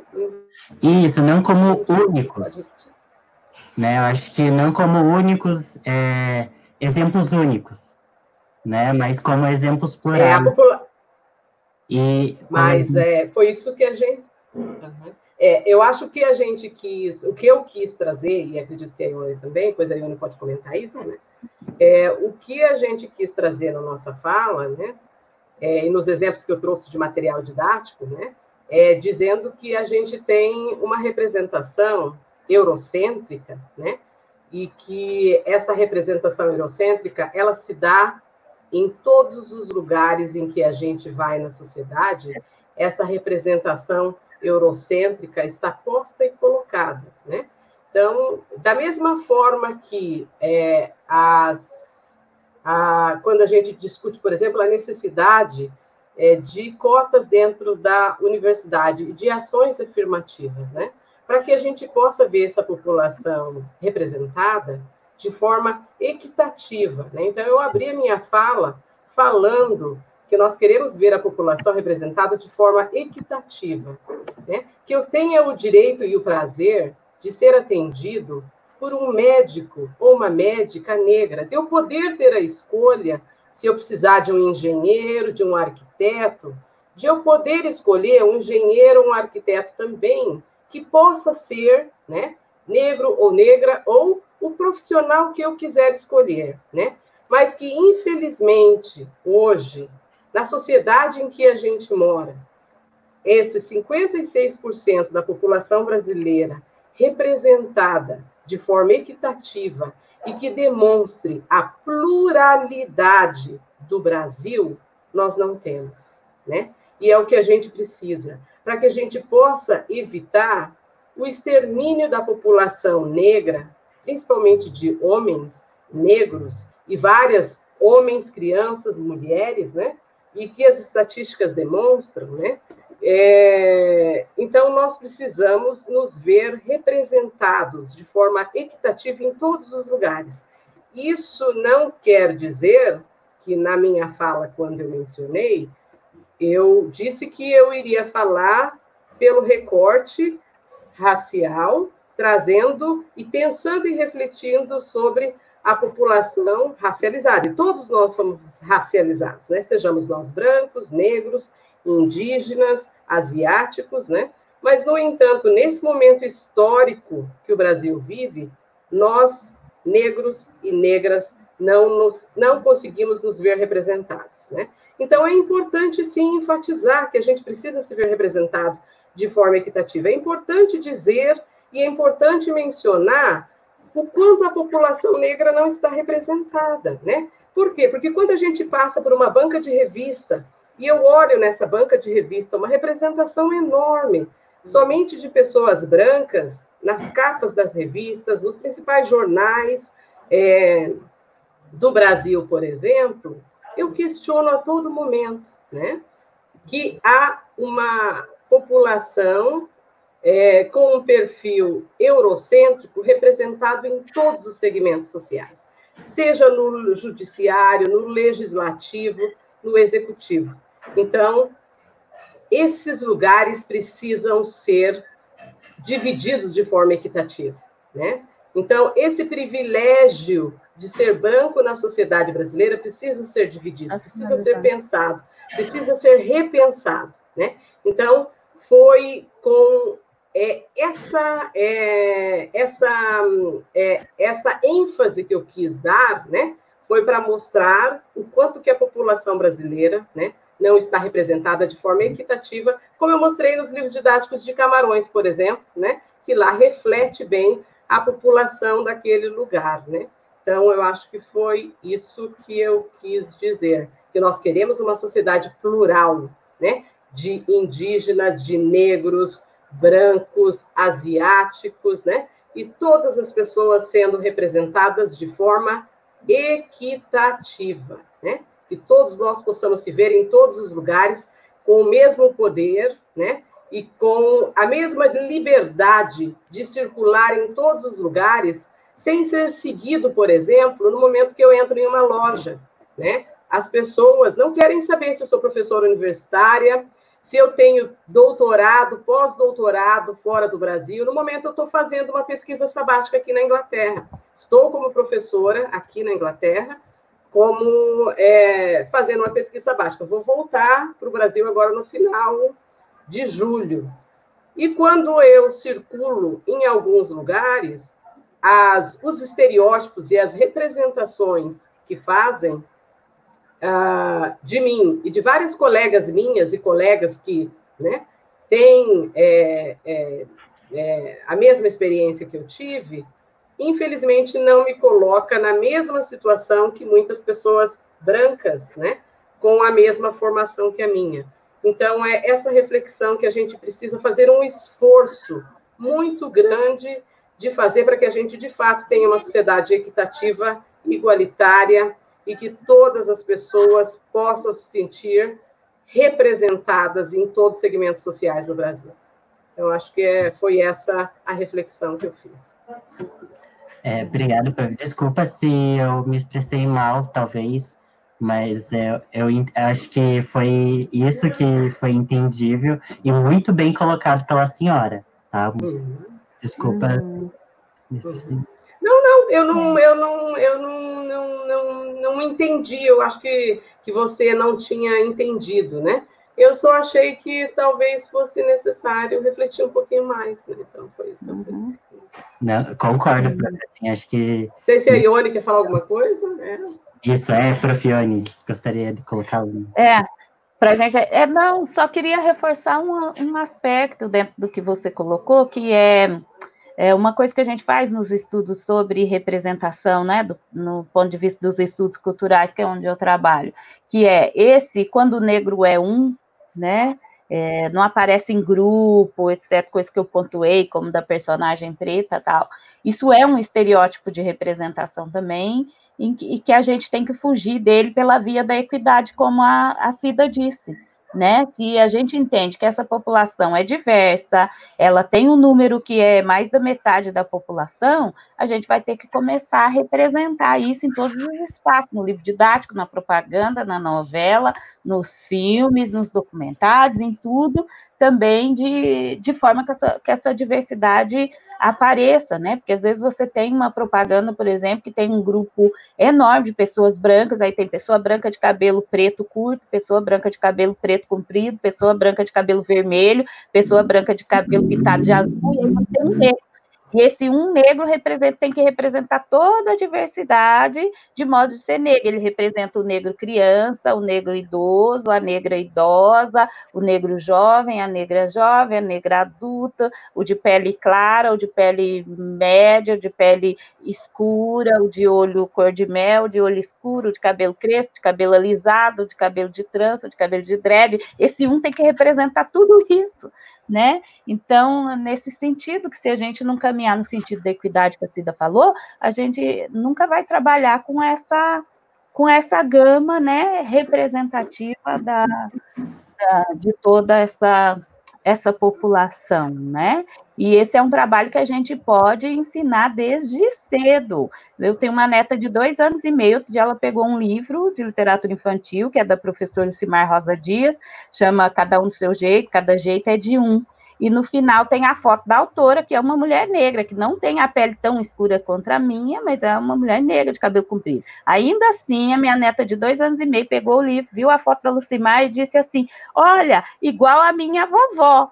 Aí foi na personagem, que é uma menina negra na, na, na capa, e falou: Essa é igual a Ayla da vovó. Então, a gente ensina isso desde muito cedo. Ela tem que entender que sim, para aparecer a avó dela, tem que ser uma mulher negra, pode ser com a pele mais clara, clara, com o cabelo mais comprido, mas ainda assim é uma mulher negra que representa a avó dela. Né? Não é qualquer pessoa. E é uma criança negra que vai representar ela, não vai ser qualquer pessoa. Né? A mesma coisa elas fazem com o livro da Aparecida, que tem aqui as bonecas negras de lá, todas elas, elas sabem, ela diz, parece a Ayla, essa aqui é a Ayla, a Ayla está brincando com as bonecas. Ela pega o livro, vou contar uma história para você. A Ayla está brincando com a boneca. Ah, ela tá brincando com o amiguinho. Ela entende que aquela personagem negra é ela própria. Eu acho isso muito legal. Pelo que eu não consigo filmar, não sei como é que esse povo filma, filma as peripécias das crianças, gente, porque aqui em casa eu, eu nunca consigo filmar. Mas eu acho que dá para a gente começar esse letramento racial, crítico, bem, desde cedo. Eu faço esse exercício com as minhas crianças, quando eles falam, ah, não sei que é da África, e eu digo, de onde? Lembra que eu já te falei? A África é um continente, tem 54 países. É, é, de onde na África? Ah, é da África do Sul, é isso que você quis dizer? E outro dia, meu filho de 10 anos disse para a professora, ela falou alguma coisa de África, ele disse: Olha, a minha mãe já ensinou que a África é um continente, tem 54 países. Cada país tem um o quê. Então, quando a senhora fala África, professora, a senhora está falando de qual país? Aí a professora explicou que era, que era Egito, alguma coisa assim. Ah, sim, os egípcios são lá no norte da África. Minha mãe mostrou. É bem lá em cima no mapa. Quando a senhora quiser, quando as aulas voltarem, a senhora pode chamar minha mãe para dar uma aula. Porque a minha mãe sabe muito. Então, eu já crio uns monstrinhos, entendeu? É, que não é. vão aceitar fácil né, os, os, estereótipos de representação, não. É, Ai, prof, muito obrigada. Assim, acho que é, é esse o nosso papel, né? Você faz isso com a sua filha, né, na sua família, né? E acho que é esse papel que nós devemos ter enquanto professores, né, de ensinar como a prof. Aparecida falou, né, desse letramento racial crítico, assim. E, infelizmente, profs, é, deu nosso tempo. Acho que não, não esgotamos por aqui, né? Tem, temos muito a discutir ainda sobre essas questões, assim. Queria agradecer imensamente a presença das duas, né? Que sempre estão à disposição, à disposição da gente, sempre são parceiras e colaboradoras aí nesse processo, tá? É, e realmente queria agradecer em nome de toda a comissão. Acho que conseguimos refletir muito é, sobre essas algumas questões aqui que foram levantadas e eu acho que nos incomodamos muito também. Né? Eu acho que esse processo de incômodo também é necessário. Então, gostaria de agradecer. Se vocês quiserem dar um último recado, prof, fiquem à vontade. Eu só quero agradecer também, dar boa noite para todos, para quem ficou até agora, dizer que foi um prazer poder interagir e agradecer a comissão do evento pelo convite. É, eu também gostaria de agradecer, né? E dizer que adorei participar, dialogar com vocês, as perguntas foram é, ótimas de poder responder, porque foram perguntas né, genuínas de, de, de, de querer saber um pouco mais, né? E parabenizar de vocês, como alunos né, do curso, estarem aí organizando e fazendo as atividades. Né? Então, que muito, muito, muito, muito bom. Excelente. Parabenizar o colegiado do curso. E foi ótimo dialogar com a Ione, né, que a gente já vem fazendo isso há bastante tempo. Então, muito obrigada. Muito então, obrigada. E muito obrigado, profs mais uma vez, assim, foram excelentes as falas. Acho que vocês podem ver pelos comentários que estão passando. Realmente, uhum. muito a nossa semana acadêmica. E só tenho a agradecer mesmo. Que bom, é, que bom. Que bom. Então, acho que é isso, pessoal. É, amanhã tem mais live, mais conteúdo. Fiquem ligados. E não esqueçam de curtir e compartilhar o vídeo. Isso, então, até mais, pessoal. Até. Tchau. Tchau.